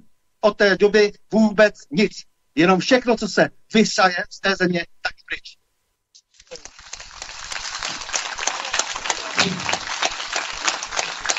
Vladimír Štěpán. Vladimír je velký odborník na plynárenství, teplárenství, ale hlavně skvělý kontraktor. Člověk, který se velmi dobře vyzná v těch spletitostech vztahu na mezinárodním poli. To znamená, že když jde dnes o plyn, tak kdo už jiný by měl být povolán, aby sjednal rozumný kontrakt, a kdybychom samozřejmě neměli tu pandu prostě idiotů, která dnes sedí ve vládě, že jo. Pokud by ti lidé chtěli, aby někdo šel skutečně kvalifikovaně vyjednávat, tak si pozvou Vladimíra a on vám to teď vysvětlí. Takže dobrý den, já bych s dovolením zůstal sedět, abych viděl do těch papírů.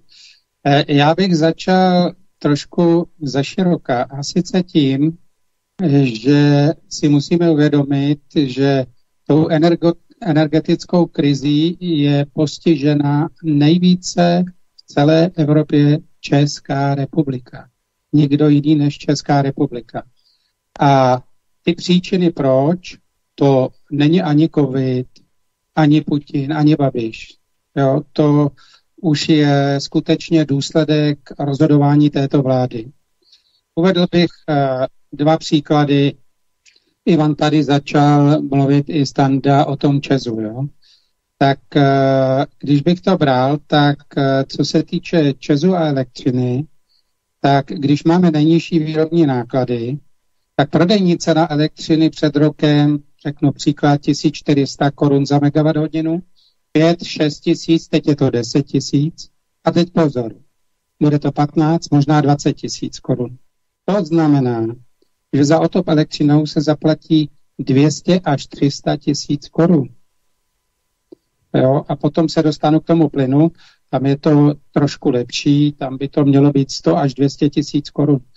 Ale já bych eh, chtěl, aby naši politici vysvětlili některé věci. Například, proč obyvatelé včera platí šestkrát vyšší cenu elektřiny než na Slovensku, třikrát vyšší než v Maďarsku.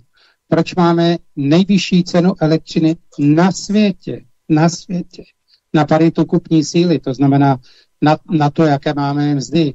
Proč tohle to máme? Proč to nikdo nevysvětlí? Proč tedy, když jsme dali před rokem dotaz, což jsem počítal, Inoji, náš největší obchodník eh, s plynem, prodává plyn 1500 kubíků na Slovensku za 10 korun. Včera za 20. Jak je tohle možné? A oni říkají, že jsem největší kritik vlády. Já teda teď už se nejsem tak jistý. Možná nás trufne ještě pan Jandejse, který je taky tak jako uh, ostřejší, jo? ale to je úžasný, že teda jsme se tady zrovna sešli, asi možná opravdu ty největší kritici vlády, tak já naprosto zodpovědně pohlasu, že já s touto vládou nikdy nebudu jednat, protože to je naprosto beznadějný. To je ignorace, hloupost a všechno dohromady. To je naprosto nezodpovědný spolek. No, to, co tady říkal Ivan. Ten bilion korun, které ročně přicházíme, o to opravdu ročně přicházíme, ale my jako ČR proti ostatním státům Evropské unie, proti ostatním státům. Všichni na to doplácí, na energetickou krizi. Ale my nejvíce, když bych to bral tedy konkrétně, tak uh, jak se tady bylo o tom, o, to, o té elektřině na burzu, zrovna když tady byl kolega ze Slovenska, tak jsem trošku vyprovokoval jednoho slovenského podnikatele a říkám mu, helejte, vy musíte prodávat tu elektřinu na burze, že jo? A e, to potom teda má ty špatné důsledky, že jo? Pak se to vrací těm obyvatelům. A on říká, vy jste se zbláznil, to je porušení legislativy Evropské unie. Já jako obchodník si vyberu, jestli to budu prodávat na burzu, nebo si udělám dvoustranný kontrakt a to mám i s Němcema. Kdo tohle vykládá je zločinec. Úplně se naštval, že to je absolutní, a to se tady vydává jako svatý, že musíme prodávat na burzu. Nemusíme. Burza je nástroj na to, aby jsme levně prodali elektřinu, po případě i plyn, a koupili ho zpátky za nejvyšší ceny Jo? To je jediný, čemu ta burza je. Burza je deformovaná. Například v plynu je deformovaná tak, že když tam Rus přestal dodávat, tak tam zbyli dva, tři obchodníci a ty si přihrávají. Já na bráku, já na bráka na mě. Já tam něco dám tam, a dáme ty ceny takový nebo takový. To je poptávka a nabídka. Poptávka a nabídka fungovala mezi lety 2010, 2020 i my jsme měli nejnižší ceny energie v Evropě, Česká republika. Protože máme energeticky intenzivní průmysl, tak jsme na tom vydělávali a měli jsme se relativně dobře. Od roku 2021 se odchýlily ceny na burze a začaly strmě stoupat a odlišovaly se od těch cen z dlouhodobých kontraktů těch dvoustranných s Gazpromem. Velmi výrazně, nejdřív o 10-20%, pak 100 a tak dále. Tu chvíli jsme vystoupili, já už jsem to chtěl nechat tady do důchodu, ale když jsem slyšel, co se děje, tak jsem říkal, tak tohle ne. Víte co, teda, my jediný v Evropě nemáme ten dlouhodobý kontrakt dvoustrany. Tak já vám říkám, vládo, a dali jsme to písemně, já jsem to dělal pro několik států v Evropě. Všichni mě tam znají v tom Rusku. Jestli mi dáte, a já potřebuji od vás papír, že to je od státu, protože oni se baví jenom s velkýma hráčema. Gazprom, oni jsou zvyklí, že v každém státě má jednoho obchodníka. Včera to bylo ČPP nebo pak Transgas, pak se to zprivatizovalo bohužel, bylo to RV, to ten kontrakt zničilo. Se vedlo ten vzorec na burzu a byl konec. Takže jsem říkal, my to musíme znova obnovit, dát tam vzorec místo vazby na cenu burzy, protože burza je katastrofa. Ta nás zničí, jestli budeme pokračovat. To není možný tohle, jo. jo a e, tak jsme to napsali a opakujeme to rok do naprosto marně a proto říkám, že s touto vládou se nebudu bavit. Jako Ivan nebo ostatní říkají, ale musíme se s ní bavit, říkám, nebudu. S touhle vládou já se bavit nebudu. Jako jo, protože to je absolutně beznadějný. Jo. A je to úmysl. Je to úmysl a když se bavíme o tom, že tedy o tom panu Švábovi, jak to tady padlo dopoledne, tak co tady je? Co ještě nám zbylo? Všechno jsme privatizovali. Ale máme tedy 2,5 milionu domů a bytů. A co se má stát? Musíme mít nejvyšší ceny energie v Evropě, ty energie potom nikdo nezaplatí, ty opravy domů nikdo nezaplatí a k tomu si dáme daň z nemovitostí ne absolutně 10 tisíc korun, ale my ji dáme procentem z tržní hodnoty, takže ty nejdražší, co si mladí postavili nebo něco, ty baráky, no tak z toho dáme 2% a z 10 tisíc bude platit 200. No a když to sečteme k tomu inflaci, kterou máme právě nejvyšší v Evropě taky díky cenám plynu a elektřiny. Jo, takže právě ta energetika, to je vlastně dneska základ všeho zla, kdy to, že jsme měli nejnižší ceny plynu elektřiny v Evropě, tak máme dneska nejvyšší.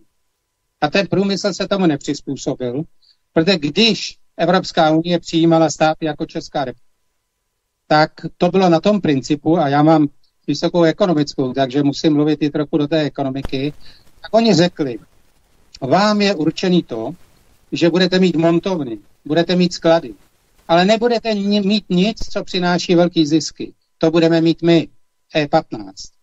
A teď nastala ta doba, teď nastala ta doba, kdy jsme na dně, kdybychom znovu měli zvednout toto téma Evropské unii, protože to, co říkal Ivan, ten bilion je potřeba rozvést. Je tady něco z energetiky, podle mě tak 300-500 miliard korun. Pak tady máme více než 200 až 400 miliard z dividend a z takovýchhle věcí. Jo, to znamená, že i tam se musíme obrátit. Jo? My, my třeba jako odboráři zvyšte nám platy státním zaměstnancům. To je to nejhorší. My musíme říct, protože to nás pohřbí, dále se zadlužíme a nezaplatíme to. Ani naši vnuci už to nezaplatí. My musíme říct právě ne, ty dividendy, zdanění. Teďka řeknu příklad té elektřiny na Slovensku. Oni tam mají slovenské elektrárny, stát má 30%. Co udělali? A ten rozdíl proti ČR, Maďarsko, Polsko, Slovensko je ten, že v těchto státech existuje takzvaný politický nacionalismus, tomu říkám, nebo to jsem si vymyslel. Ale to znamená, a neříkám, že tam není korupce, je tam korupce a značná, ale stát si vždycky musí přijít na svý. Vždycky. A když se podíváte na Poláky, to vidíte, nebo na Maďary, nebo na Slováky, tak vždycky vidíte, slyšíte o tom státu a tak dále a ty nejvyšší političní představitelé, jak vystupují? Vždycky na obranu státu, na obranu svého průmyslu, na obranu svých vozidel. Je tady někdo v tomto státě z hlediska politiků současné vlády? Já nikoho neznám teda. No a proto jsme tam, kde jsme. Takže to je zase ta záležitost, bych řekl, té makroekonomiky, že musíme se vrátit k tomu, že jim řekneme, tak podívejte se. Protože tato vláda vykládá o sektorové daní, jako, ale nikdy ji nezavede, nikdy ji nezavede, tak jako nezavedla nic jiného. Zůstanou tady sociální tarify, takže až se zvýší ty ceny za vytápění o 100 tisíc, tak dostanete 50 tisíc. To ale budeme o tom diskutovat ještě pět měsíců, než je dostanete. Jo? A nejdřív dva a tak dále. Jo? A z toho je přesně vidět, že toto je naprosto to, co se tady rozčil, rozčil standard teda jako ve svém dalším pořadu, o čem se mlčí. Toto je pořád, o čem se mlčí, protože tady jsou zřejmě lidi zvídaví vlastenci, kteří skutečně něco změnit chtějí a uvědomují si vážnost té situace. My s tím Ivanem, s Alenou Vytázkovou, s Pavlem Janečkem, Zenkem Beranem pořád píšeme ty články, vystupujeme. Když už neví si rady ta televize, no tak zavolá třeba Štěpána a řekne, pane Štěpán, on nikdo neví, jak je to s tou ropou. Nepřišel byste do televize? Já říkám, no jo, protože to chci vysvětlit. No tak jsem musel vysvětlit po panu Bartuškovi, podle kterého jsme mohli ze dnes na dnes zastavit ruskou ropu, že to je totální pitomost, že všichni zahyneme. Takže zkrátka ten tál ze západního směru, ten ropovod, nám sem tu dopu nevyplatí, nedopraví, maximálně o 15% víc. A tady bude chybět 30-40% té ropy minimálně. Budou chybět léky, budou chybět všechno. Všechno se dělá z ropy.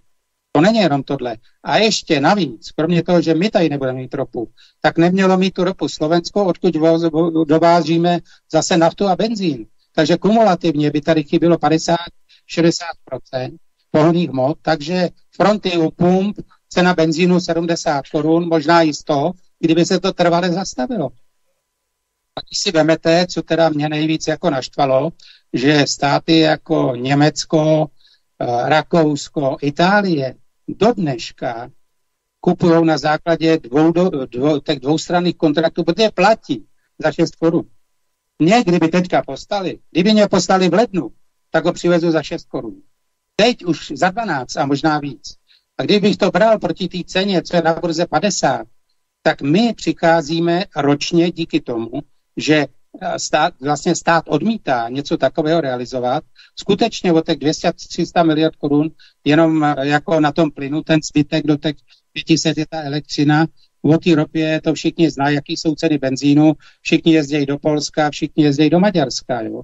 Ještě bych se zmínil o životní prostředí, protože mám diplomku zase na životní prostředí.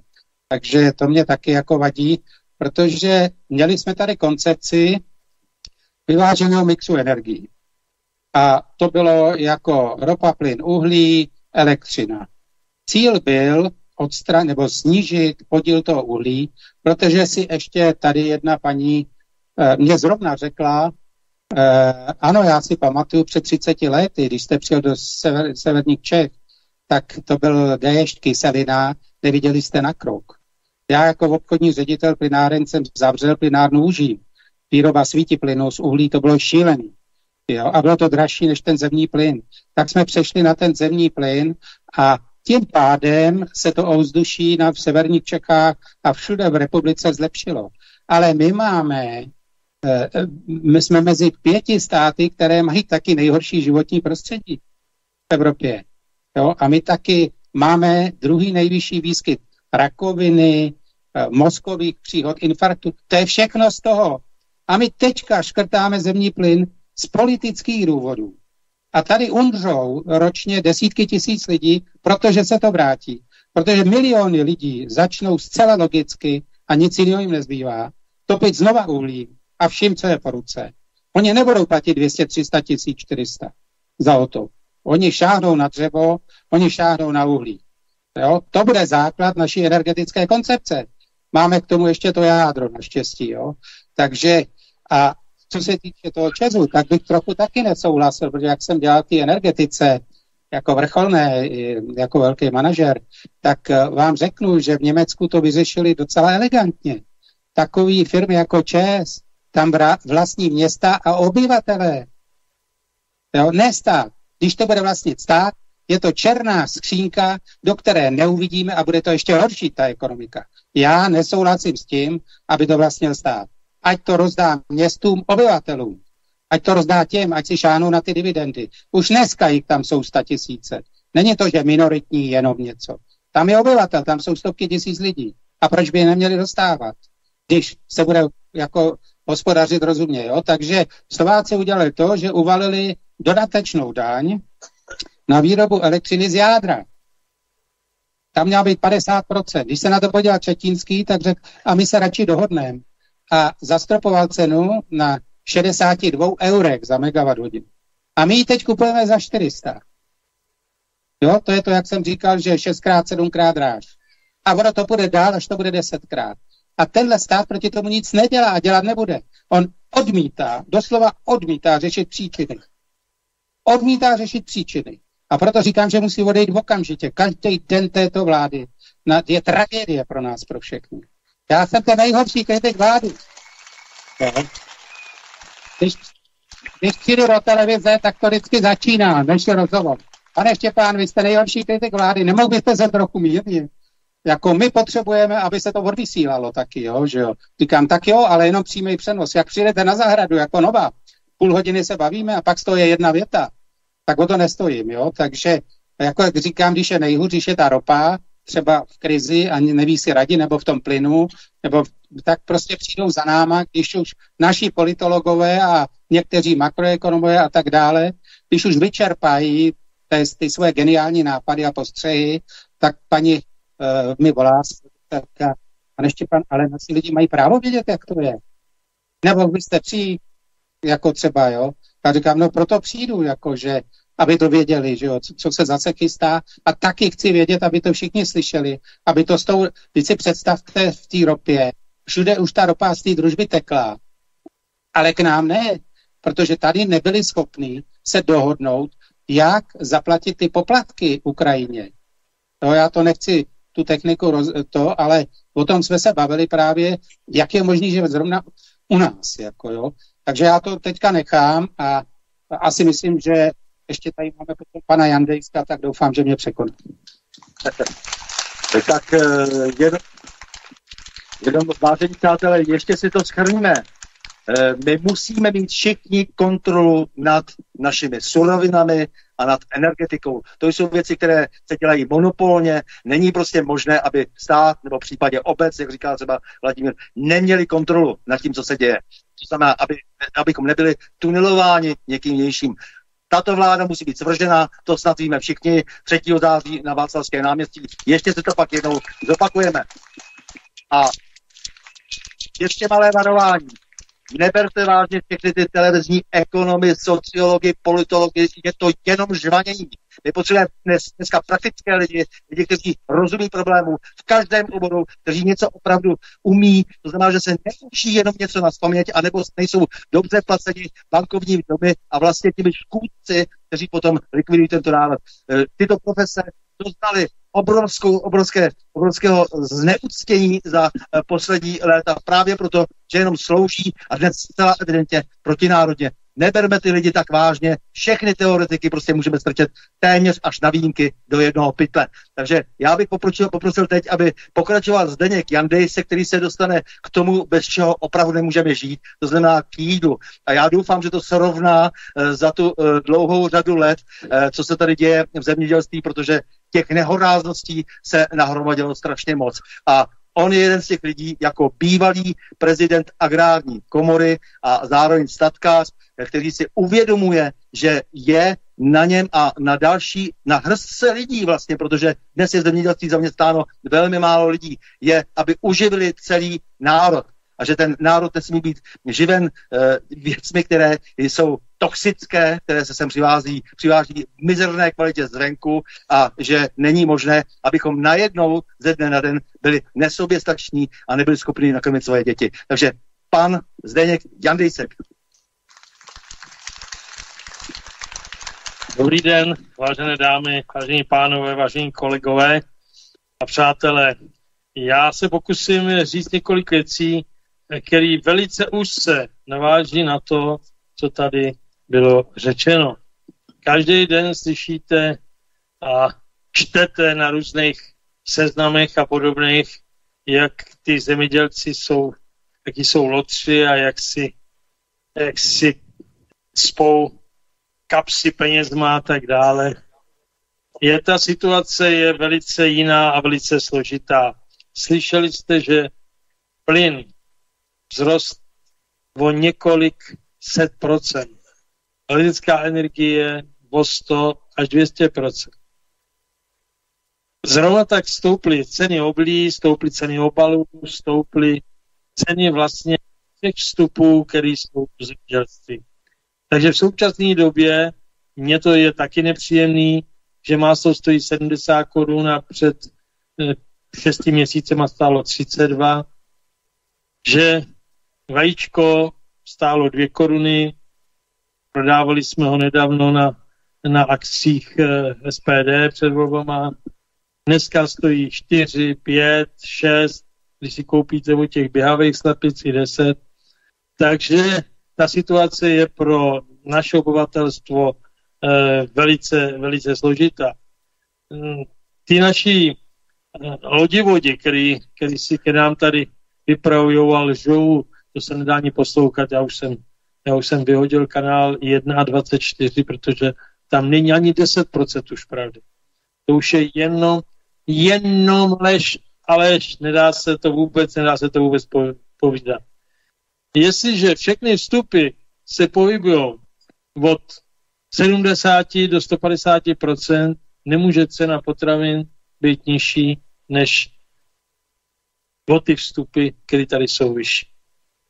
Je to velice, je to velice smutné. A všichni dobře víte, že potraviny byly rozhodující hybnou silou obyvatel. Ať to bylo ve starověku, středověku a v kterémkoliv období. Když nebyly potraviny, anebo byly nedostupné pro ty lidi, tak víte, že nikdo to nestrpěl. Takže doufám, že to nestrpíte ani vy, ani všichni další, kteří budou, který budou v této, této branži vystupovat třetího a další, dalších termínech, protože tato vláda je vládou v podstatě hospodářských negramotů. Ty lidi nevědí o hospodářství nic. Ty lidi pouze, ty lidi pouze se naučili mluvit a naučili se vlastně nás všechny oblbovat a snaží se nám, snaží se nám dostat do toho, aby vy všichni jste přišli o všechny úspory, abyste všechno vydali za energii a za jídlo. A to si myslím, že je všechno, všechno špatně. Jaký bude další vývoj? Další vývoj bude složitý. Bude to podobný, jak to tady říkali moji kolegové. Jestliže budou růst ceny elektrické energie, ceny plynu, samozřejmě budou růst i ceny potravin. Protože se k tomu přidávají další problémy a to je hlavně celý jich je suchý. To znamená od Maďarska počínaje přes Itálii, Španělsko i Jižní Francii a celá Severní Afrika. Takže obilí, který tady máme, který pravím, že máme dost, ano, my ho máme dost, už to je velká část prodaná a prodaná za peníze. Takže dojde k situaci, že bude docházet k dalšímu růstu u potravin a to je velice smutný. E, potraviny se dostanou cenově přes 100%, přes 100% nárůstu. E, co by se dalo řešit? Řešit by se dalo velice jednoduše. V momentě, kdyby se nasmlouval plyn za normální ceny takový, jaký jsou v Maďarsku, jako jsou ve Francii, tak jsme úplně někde, jsme úplně někde jinde. Můžeme se bavit o tom, že ceny můžou klesat. Ale do té doby, dokud porostou ceny energií, ceny obilí, ceny hnojiv, my dneska kupujeme hnojiva za čtyřnásobek. Znamená ledek amoní, který stál 4500 korun tuna, dneska stojí 15 až 20 tisíc korun, záleží, kde. Takže si představte, že ty, který nemají moc dobytka, máme tady málo, je to pár podniků, který tady má, který tady má dobytek, protože eh, v podstatě se vytvořila taková hospodářská politika, aby se tady nevyrábělo maso, aby se tady nevyráběly potraviny eh, charakteru živočišného původu. Takže tady není čím hnojit. Eh, jenom pro vaši informaci, eh, třeba v, tý, v tom Holandsku, kde jste viděli ty stávky, tak je zhruba zatížení u skotu desetinásobný, znamená, když máme jednu krávu, u nich mají deset. Stejně tak u vepřového, když máme my jeden kus vepřového, oni mají šest. Stejně tak je to ze slepicem a s kuřatama. Takže tam se bouřejí proti tomu, aby jsme snižovali počty a mají to desetkrát tolik. A my kejváme a říkáme, že musíme všechno snižovat, že musíme plnit Green Deal a že musíme vymýšlet, vymýšlet nesmysly. Takže kdyby se podařilo snížit vstupy, o které jsem tady mluvil, tak oblí, musí, oblí bude samozřejmě dolů, dolů také, protože stát by byl normální národospodář, který bude sedět a podívá se jenom, otevře si skutečnosti v první republice, kde tady byly obilní kóty, kde byly cukerní kóty, bylo tady všechno nastavené. My neumíme se ani, ani přečíst to, co už, jsme, co už jsme uměli. Tak se nakoupí v obilí, který je potřeba pro dobytek, nakoupí se v obilí, který je potřeba, potřeba pro jídlo a ostatně či to prodají obchodníci. To je stejně jako s tím, s tou leteckou energií. My, ne, my, si tady, my, si, my tady děláme všechno pro to, aby jsme ožebračili lidi ty, kteří si naspořili trošku peněz, tak potřebují, aby se to plošně všechno vysálo, jak tady bylo řečeno, ještě jsou tady, ještě každý má baráky, ale nejdřív vysají úspory, aby lidi, aby lidi byli ovladatelní. To je hlavní, to je hlavní důvod těchto lidí. To nejsou lidi,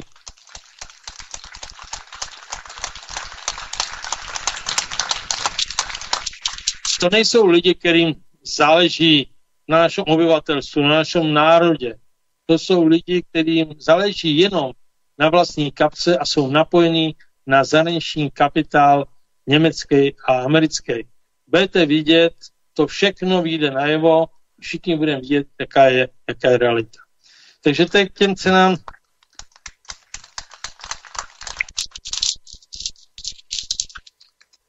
cenám. Další věc, pokud by nastoupila vláda, která e, je e, hospodářsky vzdělaná, tak vůbec by nebyl problém, aby ty podpory, které tady dáváme, ať ty, ať ty z Unie, která by vůbec, ty by nám vůbec nechyběly, ale kdyby, nám, kdyby jsme dostali jen ty dotace, ty podpory, které máme z domácích zdrojů a dostali je ty, kdo vyrábějí, kdo vytvářejí hodnoty, tady mít v oblí, v, nejen v oblí, ale budeme tady mít všeho dostatek.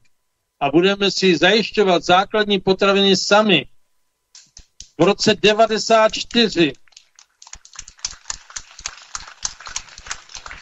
naše saldo zemědělského zahraničního obchodu bylo ještě plusový.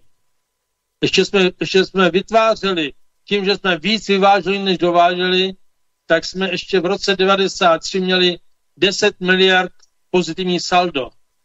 Dneska máme 45 miliard záporný saldo a v tom ještě tabák, který dělá 10 miliard. Takže když tabák dám stranou, tak 55 miliard je záporný saldo zemědělského zahraničního obchodu. Teď je to hamba. Máme tolik kvalitní půdy, máme tolik odborníků a dělají všechno proto, aby se to, aby se to posunulo do takového stavu, aby lidi nebyli schopní se normálně, normálně živit a normálně žít. Co se týká soběstačnosti naší, to myslím, že by vás mohlo zajímat. Až tak, pane, mě přeručte, až, až... Co se... Jenom upozorňuji, že s Zdenkem Jardejskem jsme dělali dlouhý rozhovor na napravu změn, můžete se najít eh, stejně jako s Vladimírem Štěpánem, stejně jako s Ivanem Nebeským a se všemi potom zase na o čem se mlčí. Takže všichni už jsme takhle nějak provázáni, takže tam se dozvíte spoustu detailů. Teď jste slyšeli, jaký je saldo. Teď vám řeknu, jak to, proč je takový saldo. Protože produkujeme dneska pouze 35% potřeby vepřového masa teď se podívejte, za minulý týden a tenhle týden stoupla cena vepřového masa o 8 centů, jsou 2 koruny za týden. Začíná se ta situace v obrace. Němci snížili stavy, protože bylo drahý obilí. Španělé snížili stavy, protože bylo drahý v obilí. Takže pomaloučku vepřov jde nahoru. Teď si představte, že oni, který vyváželi, tak zaredukovali, takže nebudou přebytky a nebudou se nic vozit. Dovedete si představit, že nebudete mít jakékoliv maso na, na pultě, který si chcete koupit. Já si to moc představit, představit nedovedu. Můžeme pokračovat. Drůbežího masa máme asi 57%, vyrábíme naší potřeby. A přitom vyvážíme polovic oblí. My jsme si to mohli vychovat, vykrmit a dodat za pár korun na, na pulci. U vajíček stejná situace. Je to, je to úplně všechno postavené na hlavu. Vajíček máme asi 54%, jsme sobě stan. Jinak všechno vozíme.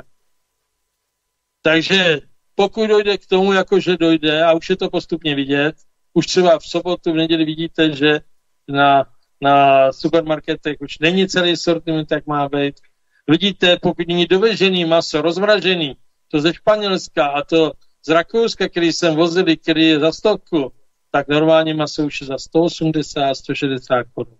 Přece to nemůže rodina, která vydělává, do rodiny přijde 50 tisíc, tak nemůže zaplatit energii a nemůže zaplatit, zaplatit jídlo. To je, to je katastrofa. Takže já si myslím, že se to dá řešit tím, že pokud by byla nová vláda, tak musí první co udělat, taky předložit smlouvu přístupu, který, mám, který máme v Bruselu. A tu vyhodnotit, protože se neplní nic vůči nám. Nám bylo řečeno, že do deseti let budou stejné podmínky v zemědělství. A ono už je 18 let. Žádné podmínky se nezlepšily. Když jsme podepsali smlouvu, tak se musí plnit. Jestli smlouvu musí plnit.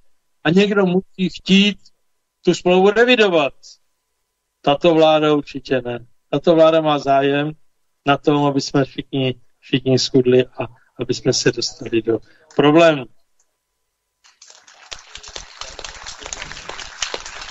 Takže zelený úděl, který se, na kterém se, na kterém se tady furt obrací všichni a říkají, jak to bude dobrý s tou přírodou, když to vyřešíme, jsou to úplný, úplný nesmysl. Marie Terezie v letech 1740 až 1780 věděla, že úhor nemá žádnou cenu pro obyvatele Rakouskou Herska. Tak zrušila úhor. My ho zavádíme. My se vracíme, my se vracíme o 300 nebo o 400 let zpátky. My jsme se úplně, my jsme se úplně pomátli. Lidi jako Timmermans a jemu podobný jsou lidi, kteří vůbec nevidí o světě. Já jsem měl možnost, jezdil jsem do Bruselu, měl jsem možnost se s nimi potkat. To jsou lidi, kteří jsou úplně mimo, bez toho, aby byli gramotní zemědělci v zemědělské problematice. Ty lidi nikdy tyto věci neřešili. Sedí za stolem, ale něco vymýšlejí a likvidují. Zrovna tak extensivní zemědělství, který se dneska, ke kterému se přichází.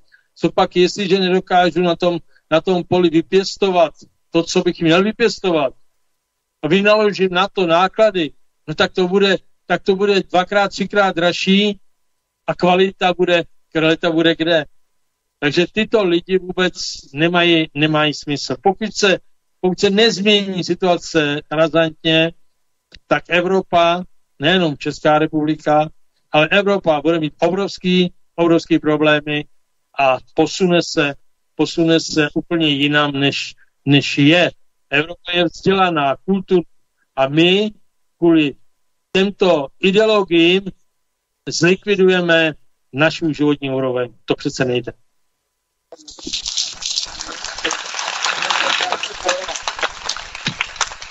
Co týká zemědělství, jsem ještě chtěl se zastavit u jedné zásadní věci. Že zemědělství velice váže na dostatek vody, protože energie, voda, jídlo a s tím půda, to jsou základní atributy existence nás, lidí pokud by se hospodařilo na polech, tak jak se hospodařit má, to znamená, všade by se voralo, když je k tomu hodné podmínky, všade by se zasely kulturní plodiny, tak nejen, že budeme mít dostatek potravin, ale co budeme mít? To nejzásadnější. Voda se udrží v půdě. Pokud se udrží voda v půdě, tak podle studií třeba v Dánsku vám řeknou, že pokud se hospodaří tak, jak se má na půdě, takže v půdě je víc vody než všech řekách, přehradách v Dánsku, kde mají podstatně vody. Ale my děláme všechno proto, aby ta voda nebyla. Všade necháme zasít trávu, tu jednou do roka zmulčujeme, když přijde pořádný déšť, tak to všechno stačí stýc a třetí den je voda v Hamburgu. My tu vodu potřebujeme mít doma, my ji potřebujeme pro lidi, my ji potřebujeme pro průmysl. My ji potřebujeme mít v řekách. Tady při takový vědci přijdou a říkají, vysychají nám potoky. No, aby nám nevyskly.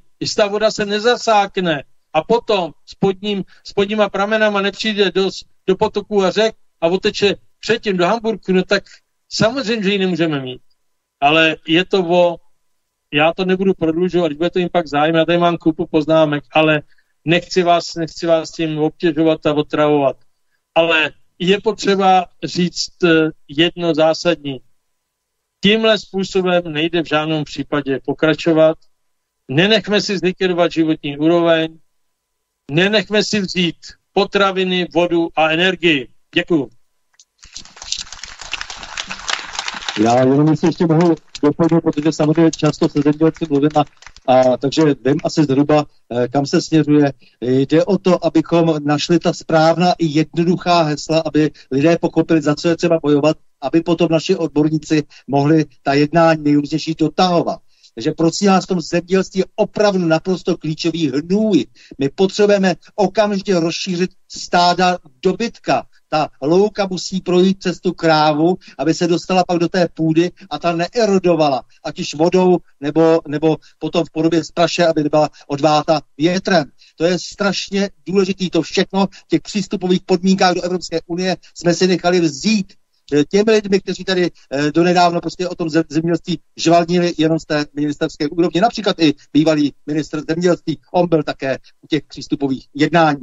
Takže tato přístupová jednání nás eh, vlastně obrala o tu možnost dneska být samostatní. Nejenom v mase, ale díky tomu hnoji bychom byli schopni potom znovu změnit skladbu e, toho, co se pěstuje na polích a mohli bychom odmítnout všechny ty nesmysly, kdy tady bioplinky vlastně likvidují tu organiku, která má přijít zpátky do, do, do té půdy. Pojďme si to vždycky takhle zjednodušit každou tu věc, abychom věděli, za co přesně bojujeme. Takže když potom e, naši páni odborníci něco řeknou, tak abychom věděli, o, o, o co běží případě Česnu a, a tak dále. Naštivtě eh, Duhovou ulici 1444, eh, Praha 4, eh, sídla Čes. Podívejte se, jak žijí eh, páni manažeři, kteří se vůbec o nic nezasloužili. Ti lidé v podstatě jenom loupějí. Jako to říkám na rovinu a otevřeně. Nic jiného ty lidi, lidi nedělají prostě a my máme právo, právo na to si vzít to, co nám patří zpátky. Kdybychom za výrobní cenu, o které tady hovořil Ivan, kdybychom za výrobní cenu opět mohli dostávat elektřinu, tak samozřejmě všechno je zachráněno, protože alespoň té elektřiny, protože by pochopitelně mohl fungovat svobodně průmysl, aby byste se neutopili eh, nakonec eh, v exekucích, ale to nám samozřejmě hrozí. Pro mě je děsivé, že jakýsi pan Michl, který loni srpnu říkal, že žádná inflace nebude, byl jmenován do čela České národní banky. No, to jsou tedy prognostici, to jsou skutečně odborníci. Loni, kdy nám to vše bylo jasné, kam směřujeme, tak tento pán, jak si říkal, že je všechno v pořádku, tak na o takové lidi nestojíme. Díky, pane prezidente. Takže Ivan to chce ještě doplnit. Tak to oni ještě navázal na standu. ono, kdyby ten Čes měl 100 nebo 200% zisk, tak pořád ještě můžou mít koncoví zákazníci elektřinu za 4 kačky, 4 koruny za hodinu. To je jedna věc. Další věc navážela kolegu Jandejská. Hnojiva. Vždycky ta hnojiva se doplňovala, ta přírodní, která jsou potřeba se doplňovat umělými. Nebo teda třeba pamatuju a pamatuju už moc dlouho, bohužel. Jo? Ale co se týká těch hnojiv, nebude zemní plyn, nebudou hnojiva. Pozor na to, nebudou hnojiva. Nebudem říkat o tom, že jsou drahé, ale nebudou. To je jedna věc. Další věc. K tomu, aby byl plyn, tak je potřeba taky těch zásobníků. Zásobníky já jsem stavil, to jsem moc krát říkal, díky tomu k tomu on citový vztah, ale ty zásobníky jsou strašně důležitý proto, aby ten plyn tady pořád byl, aby srovnával tu letní zimní bilanci, aby vyrovnával všechno. Byla nabídka, byla nabídka za cenu jednoho koupit šest zásobníků, za cenu jednoho koupit šest. My jsme vyzývali vládu premiéra Babiše, posléze vládu premiéra Fialy a všichni na to kašlou, všichni prostě to nechtějí, protože tím by se zlepšila energetická bilance, tím bychom na tom byli mnohem lépe a cena by mohla klesnout a to je přesně to, co oni nechtějí. Vrátím se ještě taky k privatizaci, o které hovořil Standa. Privatizace nebudu hovořit o tom, jestli byla špatná nebo dobrá. Nebyla dobrá, to si řekněme na tvrdo, ale třeba byl tam určitý, nevím, možná jste to někteří, někteří slyšeli, když se prodávalo celé české plynárenství, tak tam byl institut, který se jmenoval Zlatá akcie. Ta Zlatá akcie dávala českému státu právo veta, aby mohl některé věci, které opravdu by byly v rozporu se státní politikou a se zájmy státu, aby je mohl rozporovat přišla Špidlova vláda a Špidla tu zlatou akci někam zašandrčil. To je potřeba taky vidět, tohleto, jo. A úplně poslední věc, pokud by tady nebyl, pokud by tady nebyl zemní plyn a bylo by potřeba nahradit zemní plyn elektřinou, což nejde třeba u těch hnojiv, jak jsme si říkali, ale nahradit zemní plyn elektřinou. Víte, co by to znamenalo? Protože v tom zemním plynu je 100 terawatt hodin, jak jsem vám tady říkal ta čísla. Znamenalo by to, že by se museli postavit další tři temeliny a další troje dukovany, aby se ten zemní plyn nahradil. A myslím si, že o té náhradě by mohl ještě popovídat Vládě Štěpánu LNG. Dobře, tak je už nebudu moc zdržovat. Eh, prakticky říkají politici, že teda ruský plyn ne, protože je politicky závadný a že teda mm, musíme koupit LNG. No ale to LNG, to je například ruský export LNG ze Sachalinu, který koupí američané a pak ho sem dovezou, například. Jo. Nebo ho koupí Číňané a pak ho sem dovezou. Nebo Saudská Arábie koupí ruskou ropu a pak nám prodá ropu Saudské Arábie, která má stejnou kvalitu jako ten ruský, ačkoliv oni mají jinou. Jak je to možné? Já nevím, jak to dělají. A Prostě tak to je, bych řekl, to naše hospodaření s LNG. Eh, těch věcí je jako hodně, ale mě na tom vadí teda, že to LNG vlastně slouží jako prostředek ke zvyšování plynu pro odběratele a tímto se zdůvodňuje, že zkrátka to je ta bezpečnost, ale my nemáme žádný trasy pro dopravu LNG a hezkých pár let to tady nebude, možné je tedy dopravit, a potom, když eh, si na to vemu, jak jsem říkal, že třeba jsem dělal tu ekologii, tak eh, těžba to LNG v Americe by v Evropě nebyla možná, tam je z ekologických důvodů zakázána, je se tam kyselina, všechno možný. Potom tedy toto LNG musíte dopravit plynovoda, má někde, tam potom máte skapalňovací terminál, obrovské ztráty, obrovské emise, potom to přepravíte přes moře, moře. 20% 30 nákladů jde do vzduchu jako emise, a potom to dopravíte na pevninu, tam je přijímací terminál, další emise, pak to doplavíte plynovodama e, do ČR, takže ztráty na této trase jsou třeba 30-40%, ztráty ruského plynu jsou 10%. Norský je stejně dobrý jako ruský, má jenom trochu vyšší výhřevnost, ale ono ten norský plyn je obrovský zájem teďka, takže asi se k němu moc eh, jako nedostaneme. No a když už teda chceme LNG, tak to je úplná tragédie. Vy když kupujete LNG, tak ta, ty lodi jezdí nepravidelně. LNG má třeba jedna loď 150 milionů kubíků, vy to musíte přečerpat do terminálu 3, který mají 200-300 tisíc kubíků jeden, 200-300 tisíc tohle. Se budete představit. Pak to pouštíte tím potrubím, no a pak to někam přivezete na trh. No jo, ale tam není spotřeba. Teď je spotřeba plynu 8 milionů kubíků za den. V zimě bude 50-100. A co s tím plynem teda? Tak ho dáme do zásobníku, ale my je nechceme, ty zásobníky. Takže kam to budeme? Tak to budeme pouštět do vzduchu, nebo co s tím budeme dělat? Jo, a to přesně vidíte, jak je to amatérský, tohle všechno. Já mám pupínky z toho, když sever jich, což jsem vymyslel já v roce 7, tak tato vláda prohlašovala, že jedná s Polskem. Tak jsem si zavolal na Netfargas. Nejedná nikdo. Lež, lež, lež. Ropovod Adria z jihu potřebujeme, ne ze západu. Ten německý. A, to nám nestačí. Myslíte, že tam někdo jedná? Nejedná. Jo, kde by se dala zvýšit kapacita. A to je naše diverzifikace, neboli hra na diverzifikace, švindl. Jo, ten plyn sem nedorazí, ten holandský. Já jsem říkal, já vám udělám to, až řeknete, že bude holandský, že si nechám udělat rozbor a na 99% to bude ruský. Jako to bylo v roce 97. Tak to je naše energetická politika, bezpečnost. A teď je to varování. Bude zima, Plyn v našich zásobnicích mají Němci a Bavorsko je bez plynu, je odříznutý od německého systému. Plyn se k ním dostane jenom čer a tady ho mají Němci. Neboli si ten plyn vytáhnou. A co teda? V zásobnicích ho mít nebudeme, jenom 200 milionů kubíků, se 3 miliard řádově. Rus přeruší dodávky plynu, nebo ho dá, je dá tak nízký, že to nebude stačit.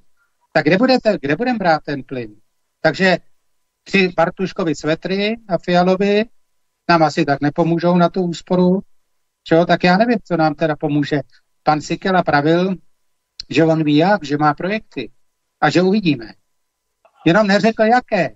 No tak na jeho projev, který byl velmi přesvědčivý, reagovala agentura Moody's, která řekla po tomto projevu, ČR bude dál závislé na ruském plynu a protože ty to zastaví, tak ČR je nejvíce ohrožený na světě.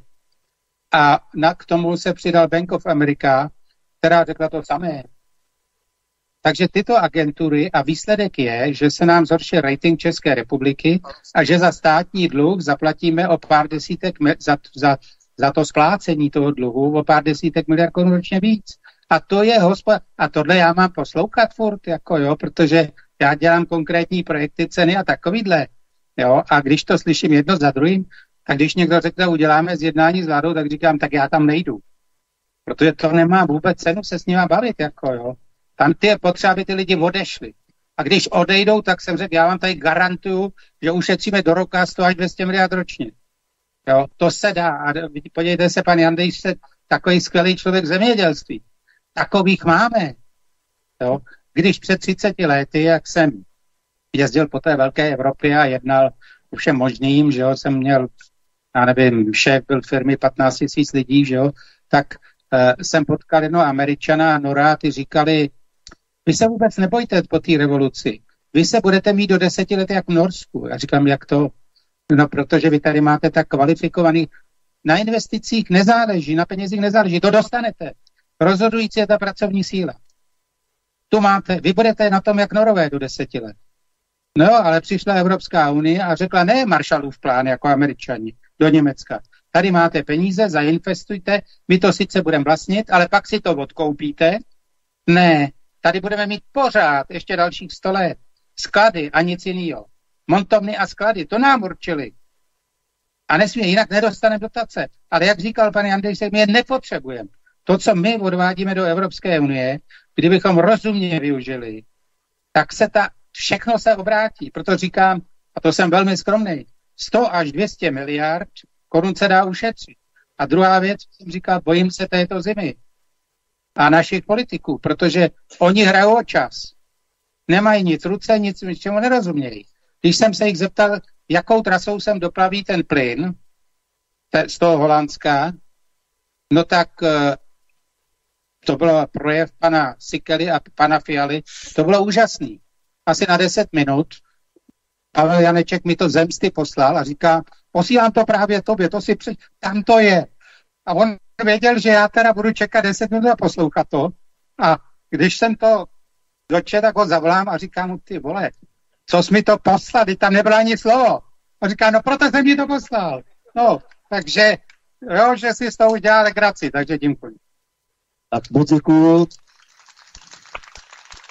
Hlavně za tu Vladimírovou otevřenost, protože, protože tomu, komu prospívá válka na Ukrajině, tak to jsou tihle lidé. To jsou ty lidé, kteří přes energie nás dnes vysávají. To jsou ty překupníci toho, těch ruských surovin, které potom prodávají nám. Takže na Ukrajině umírají slované, je to cizí válka, je to zástupná válka a slouží jenom k zastření toho, že samozřejmě jsme tunelováni se vším všady. Takže těmto lidem to slouží. To je jejich válka. Ve skutečnosti je to válka těchto těch energetických kolosů.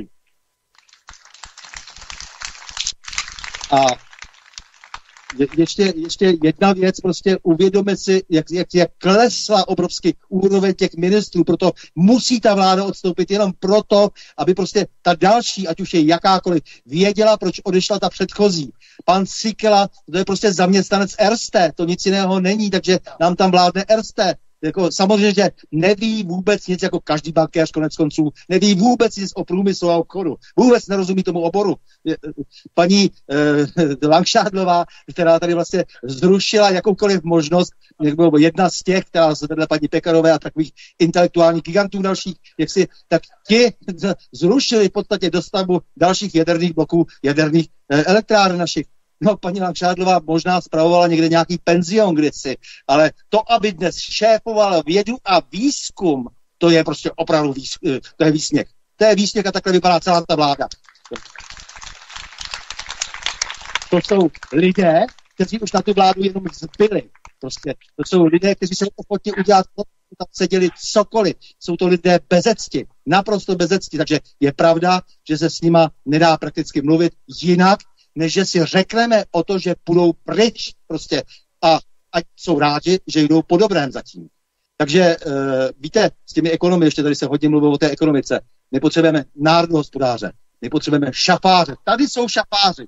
To jsou lidé, kteří umí něco opravdu pačovat, to jsou lidé, kteří něčemu rozumějí, kteří v každém oboru jsou schopni být těmi šafáři. My nepotřebujeme ty kohorty těch zbytečných teoretiků. Jsou nám úplně k ničemu. Všimněte si, jak se uděluje Nobelová cena za naprosto protikůdné teorie. No, jakou má asi hodnotu v ekonomii Nobelova cena? Žádnou samozřejmě. Všichni slouží jenom těmto vysavačům, vlastně tomu malému procentu eh, bohatců, kteří se snaží vysát celý svět a ovládnout ho. Tak to je. Nás potřebují mít úplně na kolenou a na našich životech jim opravdu nezáleží. Když si vždycky lidé myslí, že je přesvědčí, že budou vysvětlovat, nic nevysvětlí. Jsme jim úplně lhostejní jestli budeme mrtví nebo ne. Naopak, když budeme mrtví, tak není člověk, není problém, jak pravil kdysi Trocky. Takže takhle to zhruba asi funguje. Tak eh, teď už asi otázky a uh, budeme se pomalu uh, bude se schylovat k závěru. Vím, že Honza Skalický chtěl něco říct, ale já bych chtěl, on je vodní doprava a ta zároveň doprava, ale aby řekl fakt něco jenom v pěti minutách o dopravě o dopravě obecně, protože doprava je jedna z věcí, infrastruktura vůbec je strašně důležitá pro to všechno, pro to všechno o čem se tady bavíme. Jo, takže i ta doprava prostě se musí jednou nějak jak si umět uchopit, ono je to velmi těžké, protože je velmi mafiózní, ale patří to také samozřejmě eh, do toho našeho povídání, protože Honza se pohybuje ve vodní dopravě, ale přesto studuje, sleduje silniční, železniční, tak nám snad něco řekne v těch pěti minutách celku. Dobrý den, dámy a pánové, děkuji za slovo, Stando. Standa se tady pěkně rozčílil a roz, roz, ohnil. Já chci říct eh, pár takových příkladů toho, eh, co skutečně ta vláda dělá nebo spíš nezvládá, ale než to řeknu, tak bych chtěl říct, že nad ty jednotlivosti, a vůbec se tím nespochybnuju, to je naprostá pravda, že tady oba dva pánové přesně vědí, nebo všichni pánové, všichni, všichni čtyři vědí, co, eh, co, o čem mluví, ale já bych chtěl říct, že nad tím konkrétním odborným pohledem jednoho jednotlivce, tak by měl být ještě takové dva základní struktury, takový ten, ta nadstavba. A jedna z nich je to, že v České republice se úplně vytratila slova, jako je plán, jako je národní hospodářství, jako je budování. To jsou slova, které dneska jsou jakoby cizí a vlastně většina lidí ani neví, co to bylo a mají to spojený s bolševikem a s tím starým režimem. A právě protože to není a není jasno, co by vlastně mělo být a kam máme dojít, tak dneska se objevují ty jednotlivé nešvary. A teďka se dostanu k těm jednotlivým nešvarům. Eh, Standa tady říkal, že, eh, a to je tak, že by se měli vrátit uh, určité fabriky, kdo, nebo respektive vodárny a podobně do českých rukou. Já vám řeknu malý příklad. V České republice například byly zprivatizovány české přístavy. České přístavy, už ten název, tak jsou v rukách jedné osoby. Nic proti té osobě. Pan Šetý je zprivatizoval řádně, ale for je v tom, že ve všech normálních zemích přístavy, eh, například ve Spojených státech, patří eh, armádě, patří pod ministerstvo obrany, že to je strategická věc. U nás přístavy, jako jsou Holešovice, Karlín, Karlín Libeň, Radotín, Mělník, Ústí nad Labem e, a tak dále, vlastně jedna osoba, která má cíl vydělat prachy a developovat, vys například Holešovicích už dneska není přístav, ale development. Jo? A to je to, že vlastně není ta nadstavba. Jarda Novák se tím hodně zabývá, že jo? Prostě ta nadstavba znamená, že musíme uchopit veškerý ty témata jako komplexně. Takže si musíme říct, kam chceme dojít. Potřebujeme udržet energetickou soběstačnost, takže musíme vybudovat nové zdroje. Tady se baví o tom, jestli má ty nový zdroje stavět Rus, Číňan nebo Američan, ale ne, že je potřebujeme. A proto jsme postavili, není úplně pravda, že nic, postavili jsme ledvice, jeden blok, že jo, ale to je směšný, nepostavili jsme prakticky nic, protože nikdo neřeší ten celkový pohled na věc, ten celkový rámec. Eh, když řeknu příklad eh, k vodě ještě, je tady eh, dneska nepopulární a podivný kontroverzní projekt vodního koridoru Dunaj od Labe. Já jsem předseda asociace Dunaj od Labe a rovnou tady, ačkoliv o tom pravděpodobně skoro nikdo nic nevíte, tak řeknu, to je nejvíc ekonomicky dávající smysl projekt, protože tam je schrnut efekt vody, eh, zadržení vody v krajině, protipodňá ochrana, bezpečnost státu, doprava, městotvorba, krajinotvorba a tak dále. Všechno dohromady to dává velký efekt. A já se nezlobím na tu vládu, že to nestaví. Oni to stavět nemohou, protože to vůbec nechápou. Ale vůbec pana ministra dopravy Kupku jsem měl u mě v loděnici e, před měsícem. E, když se ještě rychle představím, jsem bývalý ředitel ředitelství vodních cest, zároveň mám svoji firmu vodní cesty a také jsem aktivní v českých loděnicích v Děčíně. A řeknu to jednoduše. Vím, vím, nenapovídej tam do prostě tohle je potřeba říct, aby to lidi věděli. E, já jsem taky neskákal. Hele, je to úplně jednoduchý. E, Český přístav je vlastně jeden člověk a vodní koridor dol vláda uchopila tak, že protože si myslí, že vy to oceníte, tak prohlásilo, že zruší rezervy. To znamená, ona možná to znamenali, ruší nejenom ten projekt, to mě nevadí, to prostě nechápou, ale oni ruší územní rezervy. Když zrušíte územní rezervy u dálnice, můžete ji výst jinudy, třeba tunelem. Když zrušíte územní rezervy u vodního koridoru, který zadržuje vodu v krajině, protipovodňovou ochranu dělá tak dále, tak ji nemůžete dělat v tunelu někde za rohem. To musí být rezerva u té vody, u ty řeky. A když to zruší a zastaví supermarketama, o což jim jde, tak už to nikdy nebude postavit a tím pádem vodní koridor dol, který je naprosto funkční eh, pro sucho a tak dále, budeme ho, o to garantu, budeme ho potřebovat za 50-100 let, tak už nepůjde nikdy postavit. Já udělám tiskovku a budeme eh, žalovat eh, stát vlastně za tohleto rušení, protože to prostě není možný. A poslední věc, děkuji, budu rád, když to podpoříte. Budeme dělat petice, a budu osobně se jako předseda asociace konečně musím prostě budovat za to, aby takovouhle blbost vlasti zradu ta vláda nemohla udělat. A na závěr, Stando, aby si radost, už se to chvíli ke konci, jeden blok je to národohospodářství a to, co chybí, to jsou ty, já vidím nadstavby. A druhý blok je, a ten je mnohem důležitější, to jsou lidi. Vidím tady řadu politiků. Kdo jsou dneska většinoví politici například ve vládě? Uh, tiskový mluvčí dělá ministra dopravy, pan Kupka. Já uznávám jeho schopnosti, možná starosty, ale on dělá ministra dopravy. Sikela Bankéř dělá ministra MPO. Za bolševika, jestli tady je Josef Skála, tak nemá rád, když tohle slovo používám. Za bolševika minister uh, průmyslu prošel od svářetě hutníka přes ředitele třeneckých železáren, až se stal ministrem průmyslu. Dneska ministr průmyslu je takhle vylosovaný a nesouhlasím, že to je jakoby protože zbyli, prostě oni tam jsou daný, protože nebudou zlobit a budou plnit úkoly a budou plnit pokyny. Oni nezbyli, oni jsou velmi dobře vybraný a budou plnit uh, pokyny, které jim byly daný A asi víme všichni odkud. A ty ministři o tom nevědějí nic. Já to řeknu jednou rychlou větou. Minister Kupka byl u mě v Loděnici, dvě hodiny života jsem mu věnoval, všechno jsem mu ukázal a pak jsem ho poprosil o dvě minuty zpětní reakce. Pane ministře, co jo, co ne a tak dále. Například jeden bod byl LNG. Oni říkají, že LNG mají v Holandsku. Jak ho dovezou, když není plavební stupeň Děčín a voda v podstatě nefunguje? A pan minister mě řekl po těch dvou, po té otázce a po těch dvou hodinách intenzivně vysvětlování větu, na kterou nikdy nezapomenu. Minister dopravy této republiky řekl, nemám na to názor, eh, navnímal jsem, zaposlouchal jsem, nemám k tomu co říct.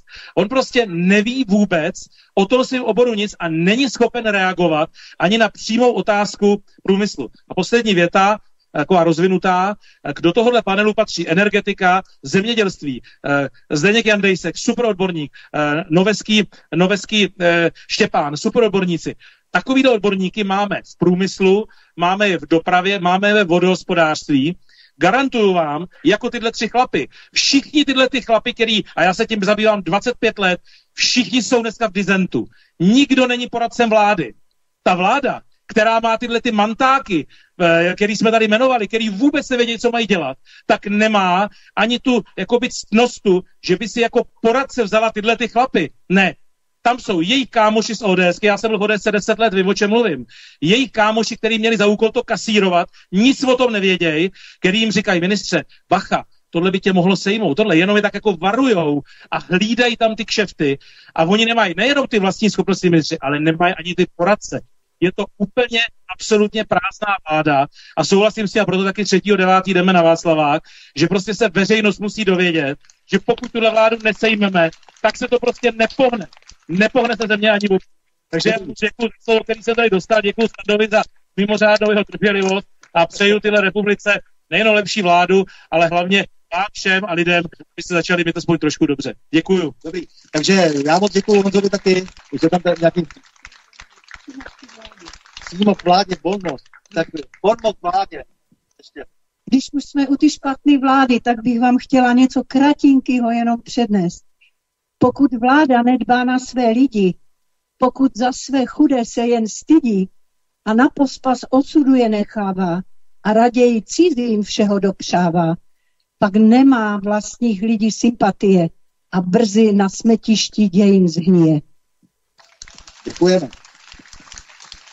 Uh, já jsem si jenom vzpomněl, když jsme se tady bavili ještě o, ty, o té o těch zdrojích a o, o, o těch surovinách a tak dále, tak jsem si vzpomněl, jak kdysi eh, bratr pana Dyby za mnou přišel v první polovině 90. let, oni mě tady honějí po poli, protože já, bratr tady má teda 40 uh, lomů já jsem říkal, jak se vám to stalo, jak jste se mohl dostat ke 40 lomům, proboha. Prostě takhle se to tady dělalo. To, co všechno bylo možné vysát, tak si prostě chlapci rozebrali. To znači neměli nejmenší zásluhu. To, co patří, to, co je skutečně národní bohatství. Prostě jakýkoliv kopec, cokoliv. Jako já nechci prostě kupovat čertový schodů od Berouna, já nechci kupovat prostě od Heidelbergu německého jako naše vápno. Prostě proč? V čem, v čem je teda ta, ta, ta, ta složitost, když jsme tam měli svoji vlastní vápenku a cementárnu a tak dále. A to je jedna věc, za druhou skončíme u všech těch ostatních surovin, všechno je to stejné, na jedno kopito. Prostě tady v těch monopolních věcech prostě stát musí mít tvrdou kontrolu a pak se můžete v klidu podnikat. Pak se můžete brát a pan Fiala, který mele něco o jakési pravico, prostě nikdy v životě nepodnikal, nic neumí dohromady, jako tak ať, ať, ať je sticha. To nemá s pravicovostí nic společného. To, že věci, ve kterých musí být stát dominantní, že se předali soukromníkům. To je likvidační a je to tak likvidační už od 90. let. Takže abychom nezapomněli, proto se to tak jmenovalo, že to dlouhodobá eh, politika, eh, to znamená, ta dlouhodobá politika je vyloženě protinárodní. Tak to je a to si musíme znovu zrekapitulovat. 3. září určitě. A tak, vrátě Karl.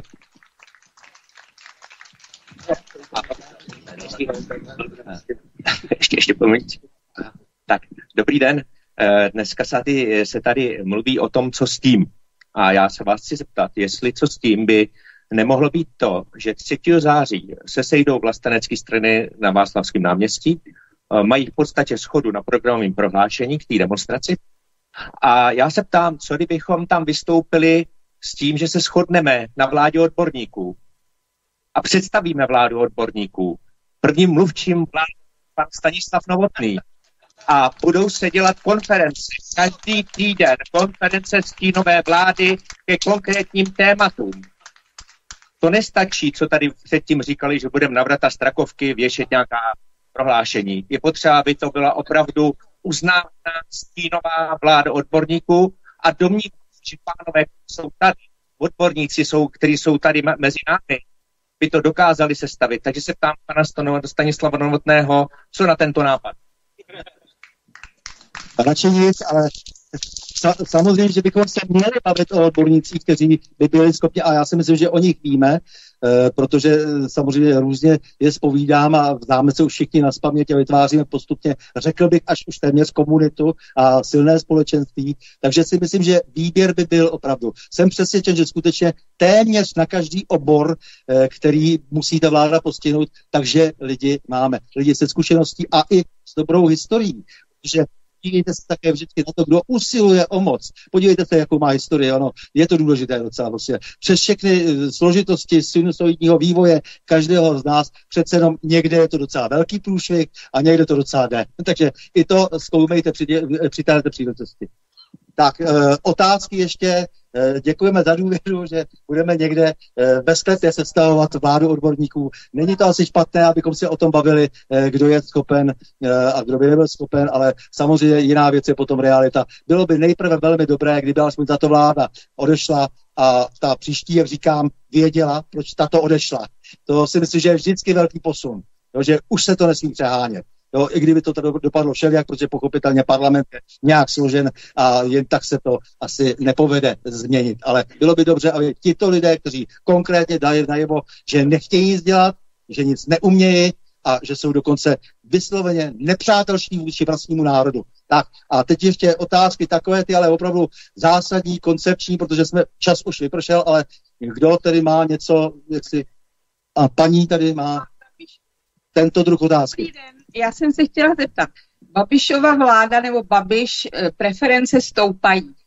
Eh, jaké je tam nebezpečí, co udělal v minulosti, jak nám může pomoct, jak může zachránit tento stát? Děkuji. Tak když má mikrofon, tak začnu já teda. Uh, já se obávám toho, že ta vláda byla populistická, že nás zadlužila a když se podívám na jejich postoj dnes, tak nevidím, že by to byla opozice, protože oni nekritizují tu výši cech energii. Vůbec ne. Oni by to chtěli řešit zadlužováním státu a jinak nic. Bohužel.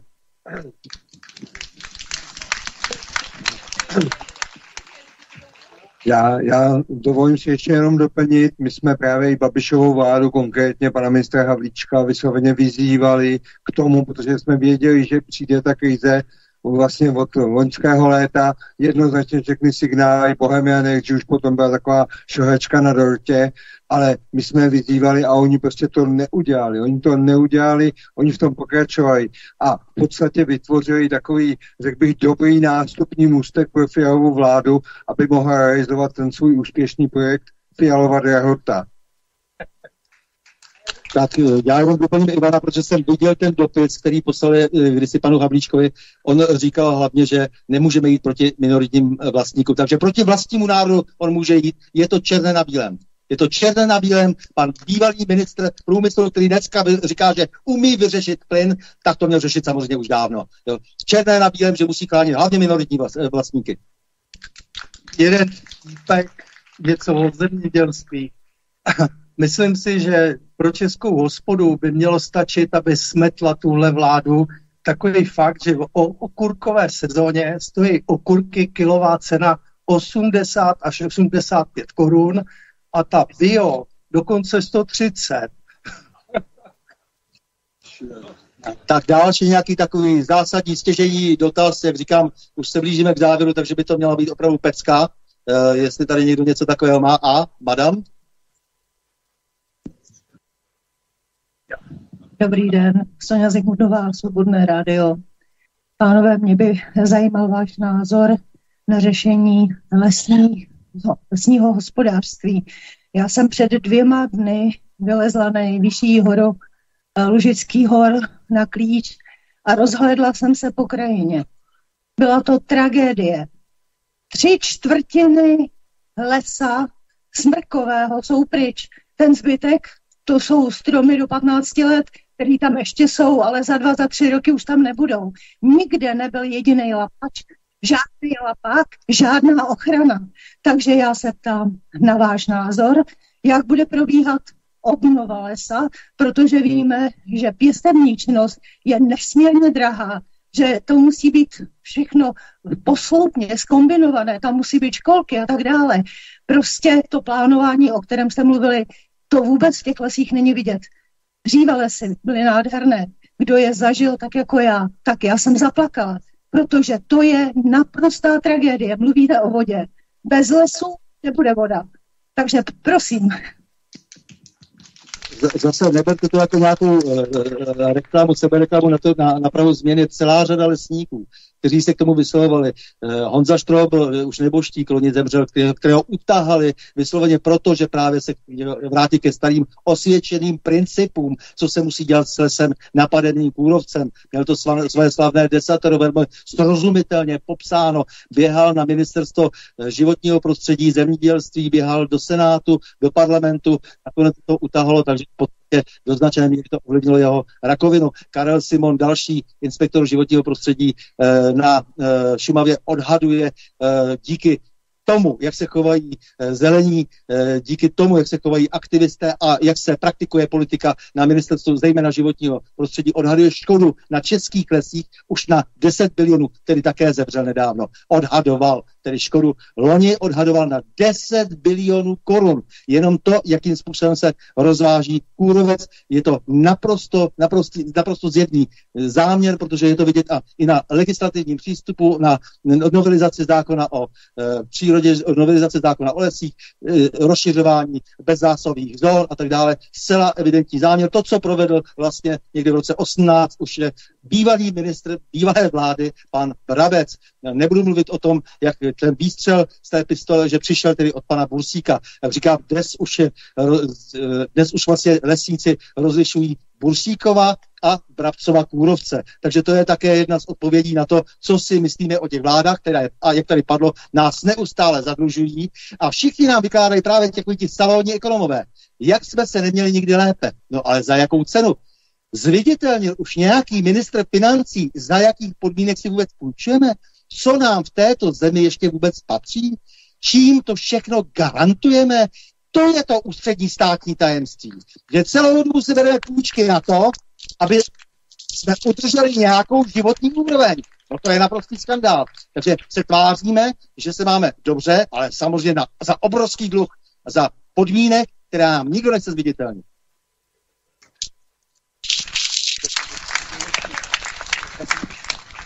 Já těm lesům eh, ta paní měla e, velkou pravdu a eh, v té lesi jsme dělali všechno jako ostatní. V lesech soutěžit, jestli tam jsou čtyři stromy kůrovci, čtyři měsíce a pak e, Krumlově to řeší ostravská firma a v Ostravě to řeší, řeší českobudějovská firma. To je to vysávání jenom podvody a podvody. Celý ty desetiletí se tímhle způsobem pracovalo. Co s tím mělo dál společného? Všechny hájenky si rozebrali ty, který tam chtěli mít rekreaci. Jak se má hospodařit v lesích? Každý hajný má mít 400-600 hektarů. Ty jsme všichni vystěhovali, ty naše vlády, poslali je do paneláku, sebrali si hajný, přece hajný musí mít v lese. Hajný, každý hajný věděl, co kde má.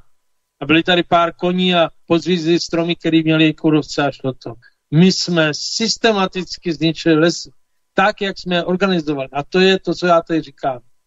My musíme mít lidi odborně znatný na jednotlivé profese. Dneska tam není člověk, který by něco udělal. A v zemědělství, tak eh, mě je 68 roku. Já nepamatuju jednoho ministra po roku 89, který by rozuměl zemědělství. Tak kam jsme se mohli dopracovat? Ještě k tomu, pokud bychom to chtěli řešit, bude se to dál řešit. Musí se vrátit těm systémům, které tady byly. Musí být kontrola musí ka- na každém území, to znamená, musíme lokálně řešit ten stav. A ne, aby seděl seděl šéf lesu, šéf lesů českých v Praze a od stolu říkal, kdo co bude těžit, jak to bude dělat a tak dál. A ty peníze, o tom ani nemluvím. Každý rok měli, měli české lesy zisky od 2 do 6 miliard. Kde jsou? Podle čísel starých asi, asi tři roky e, přišly české lesy o 60 tisíc lesníků. Jak to má pak vypadat? Jo, jenom teda... No. Skála, dobrý den. Eh, já bych chtěl říct něco ohledně peněz. Eh, každý stát, ať jsou to ti, co tam jsou dneska, nebo ti, co tam budou příště, nebo to byli komunisti, potřebují na provoz státu peníze, to znamená, musí vybrat tolik peněz, kolik to všechno stojí, a aby ještě zbylo na splácení dluhu a eventuálně na armádu. Od nikoho jsem nic takového neslyšel, ani od té současné garnitury. Eh, poradce Petra Fialy říká, zvýšení daní z příjmu osob nepřichází v úvahu. Známý ekonom Lukáš Kovanda říká, no, možná, že bychom to mohli zvednout na 70, na 17%, to nestačí. Musí přijít progresivní daň, která z těch 15% od 30 tisíc nahoru bude stoupat k milionu na 30%, protože uvážíte-li, že obyčejní lidi, a těch je většina ve státě, mají k dispozici, řekněme, 25 tisíc, a ta inflace jim žere 5 tisíc, tak ta inflace jim žere 20%. Ty, co sedí nahoře a mají 250 tisíc plus služební auta, plus kantýnu ministerskou a já nevím co všecko, tak ty mají tu inflaci možná ještě menší, ale řekněme taky 5%. Kolik je 5, 5 tisíc, pardon, kolik je 5 tisíc z 250? 2%, čili obyčejní lidi se na té drahotě a na tom srabu, který, zav, který zavinili všechny předchozí vlády, obyčejní lidi se podílejí 20% a ty, co sedějí nahoře, se podílejí jenom dvouma procentama a smějou se a říkají, s náma žádný zvyšování daně z příjmu nebude. Progresivní daň má celou řadu výhod společný zdanění manželů. Odpadne vám spousta matek spoluživit, spolu, samoživitelek. E, prostě podobný e, energie to má. E, čili tady je třeba i třeba u dnešní vlády něco takového hledat. Prostě je třeba přinutit ty lidi, aby přemýšleli a něco dělali. Děkuji. Děkujeme. E, nicméně to je samostatné a velmi rozsáhlé téma určitě. Eh, ke kterému bychom eh, se měli možná někdy dostat, až se nám podaří například zjistit, jak stát ve skutečnosti hospodaří, za co si půjčuje a komu všemu eh, jsme dnes v rukách, protože mě na tom nejvíce zajímá například zahraniční držitelé našich dluhopisů. Ten, ten rejstřík bychom si, myslím, mohli dovolit. Všichni jsme obnaženi v obchodních rejstřících a tak dále, ale nesmíme se dozvědět, jestli nás třeba nevlastní celé státy, jako komu vlastně musíme skládat účty a tak dále. Tam se teprve můžeme začít rozebírat pomalu tím, co se opravdu eh, v těch našich českých financích děje. Jedeme prostě na obrovský dluh a jedeme prostě do pekel. To je prostě pravda. Takže vyprávět neustále o tom, jak jsme se nikdy neměli lépe, je mimořádně licoměrné a opravdu eh, bychom si měli zakázat téměř tyhle ty lidi poslouchat. Všechny teoretiky. My potřebujeme lidi praktický. To znamená, až se dostaneme k tomu, až zjistíme, jak to opravdu vypadá s, s financema, až nám například minulá vláda dá, e, dá zrcadlo toho, jakým způsobem hospodařila s oním minimálně půl bilionem korun, který si půjčila za neznámo jakých podmínek, aby se vytunulovala země skrze COVID a aby si e, to užili patřičně lidé, kteří byli v ostrém tu zájmu, tak potom se budeme bavit dál. A pak se můžeme bavit o všelijakých daních. Ale prvně chceme vědět, kam, kam tečou peníze, stejně jako v Česu. Takže pokud nikdo nemá žádnou, žádnou otázku, krátku, ne, ne, ne, ale jednu větu, jednu větu, Honzo. Jednu větu. Že se pak rozvážíš. Já se nerozvážím, já bych chtěl ještě porád jenom tu nohu. já bych chtěl jenom zdůraznit, že hlavně my nevíme, kam ta, kam ta země má jít. Podle mě to nevíte, ani vy, ani politici. Jenom dva rychlé příklady. Stavíme 1,7, 1,8 km dálnice za rok za ministra Čoka. Víte, kolik bychom měli stavět, aby to normálně jsme dostavili kolem 90 až 110. Že tím tempem, co děláme, věřte mě, opravdu to tak je, dálniční systém dostavíme v roce 2470. To není normální a proto se to musí říct lidem, že takhle to prostě nejde dělat. První přehradu, kterou chceme udělat, máme kryry, kolaudace 2042. Přitom Orlí, který stokrát větší, byl postavený za 6 let. My nevíme vůbec, co chceme. Děkuju. Honza potom přijde, o čem se mlčí a tam si to řekneme ještě jednou a natvrdo. Dobrý, děkuju. Takže ještě jednou Zdeněk Jandejsek, prosím, potlesk. Ivan Novecký, Vladimír Štěpán. Děkujeme 3. září Václavské náměstí. Díky. Děkujeme velmi pěkně. Vážení posluchači, skončil druhý panel a já se pomalinku obrátím na Ano, studio slyšíme Kladno. se. Martina, vydržte chviličku. Je to trošku náročnější. Martine, slyšíme se? Ano, slyšíme se perfektně. Ano, tak uh, doufám, že se vám panel líbil. Vystoupila jsem tam teda také s takovou připomínkou ohledně hospodářství v našich lesích, které je katastrofální. Jak jsem se tam zmínila před dvěma, než jsem byla nahoře klíč. Měla jsem možnost se rozhlédnout po krajině a jímala mi hrůza, jak to vypadalo. Bylo to něco šíleného. Je to výsledek 30 let rabování našich lesů. Nedělá se nic jiného než těžba. Nikdo se o lesy nestará. Slyšeli jste, že uh, hajný byli propouštěni, zabrali se pro rekreační účely, hájenky. Prostě je to něco šíleného, tak jako ve všem. Já se ptám, jaké jsou výsledky. Katastrofální. Takže to je vlastně ode mě všechno. Stříčov, Martine, Ano, výborně. jednou Takže já bych, to, já bych to teďka ukončil asi. Přesně tak. Tak Já jenom poslední slova. Loučíme se s vámi. Stříčov, doufám, že se vám panel líbil, byl velmi zajímavý a určitě se pokusíme věci hosty, kteří tam vystoupili, získat do svobodného rádia. Já vám přeji příjemné odpoledne, ještě si to dneska pěkně užijte a někdy příště zase naslyšenou. Dobře, tak jo, tak děkuji moc a Taky. já samozřejmě také všem děkuji za pozornost a poslouchejte i nadále Svobodné rádio. Dobře, takže výborně, to byl přenos z Příčov, i když byly nějaké menší technické problémy, tak nakonec se vše podařilo vyřešit. Takže říkám, eh, zůstaňme jednotní, neuhýbejme do nějakých eh, blbostí, ezoteriky, okultismu a tak dále a stojíme pevně za SPD.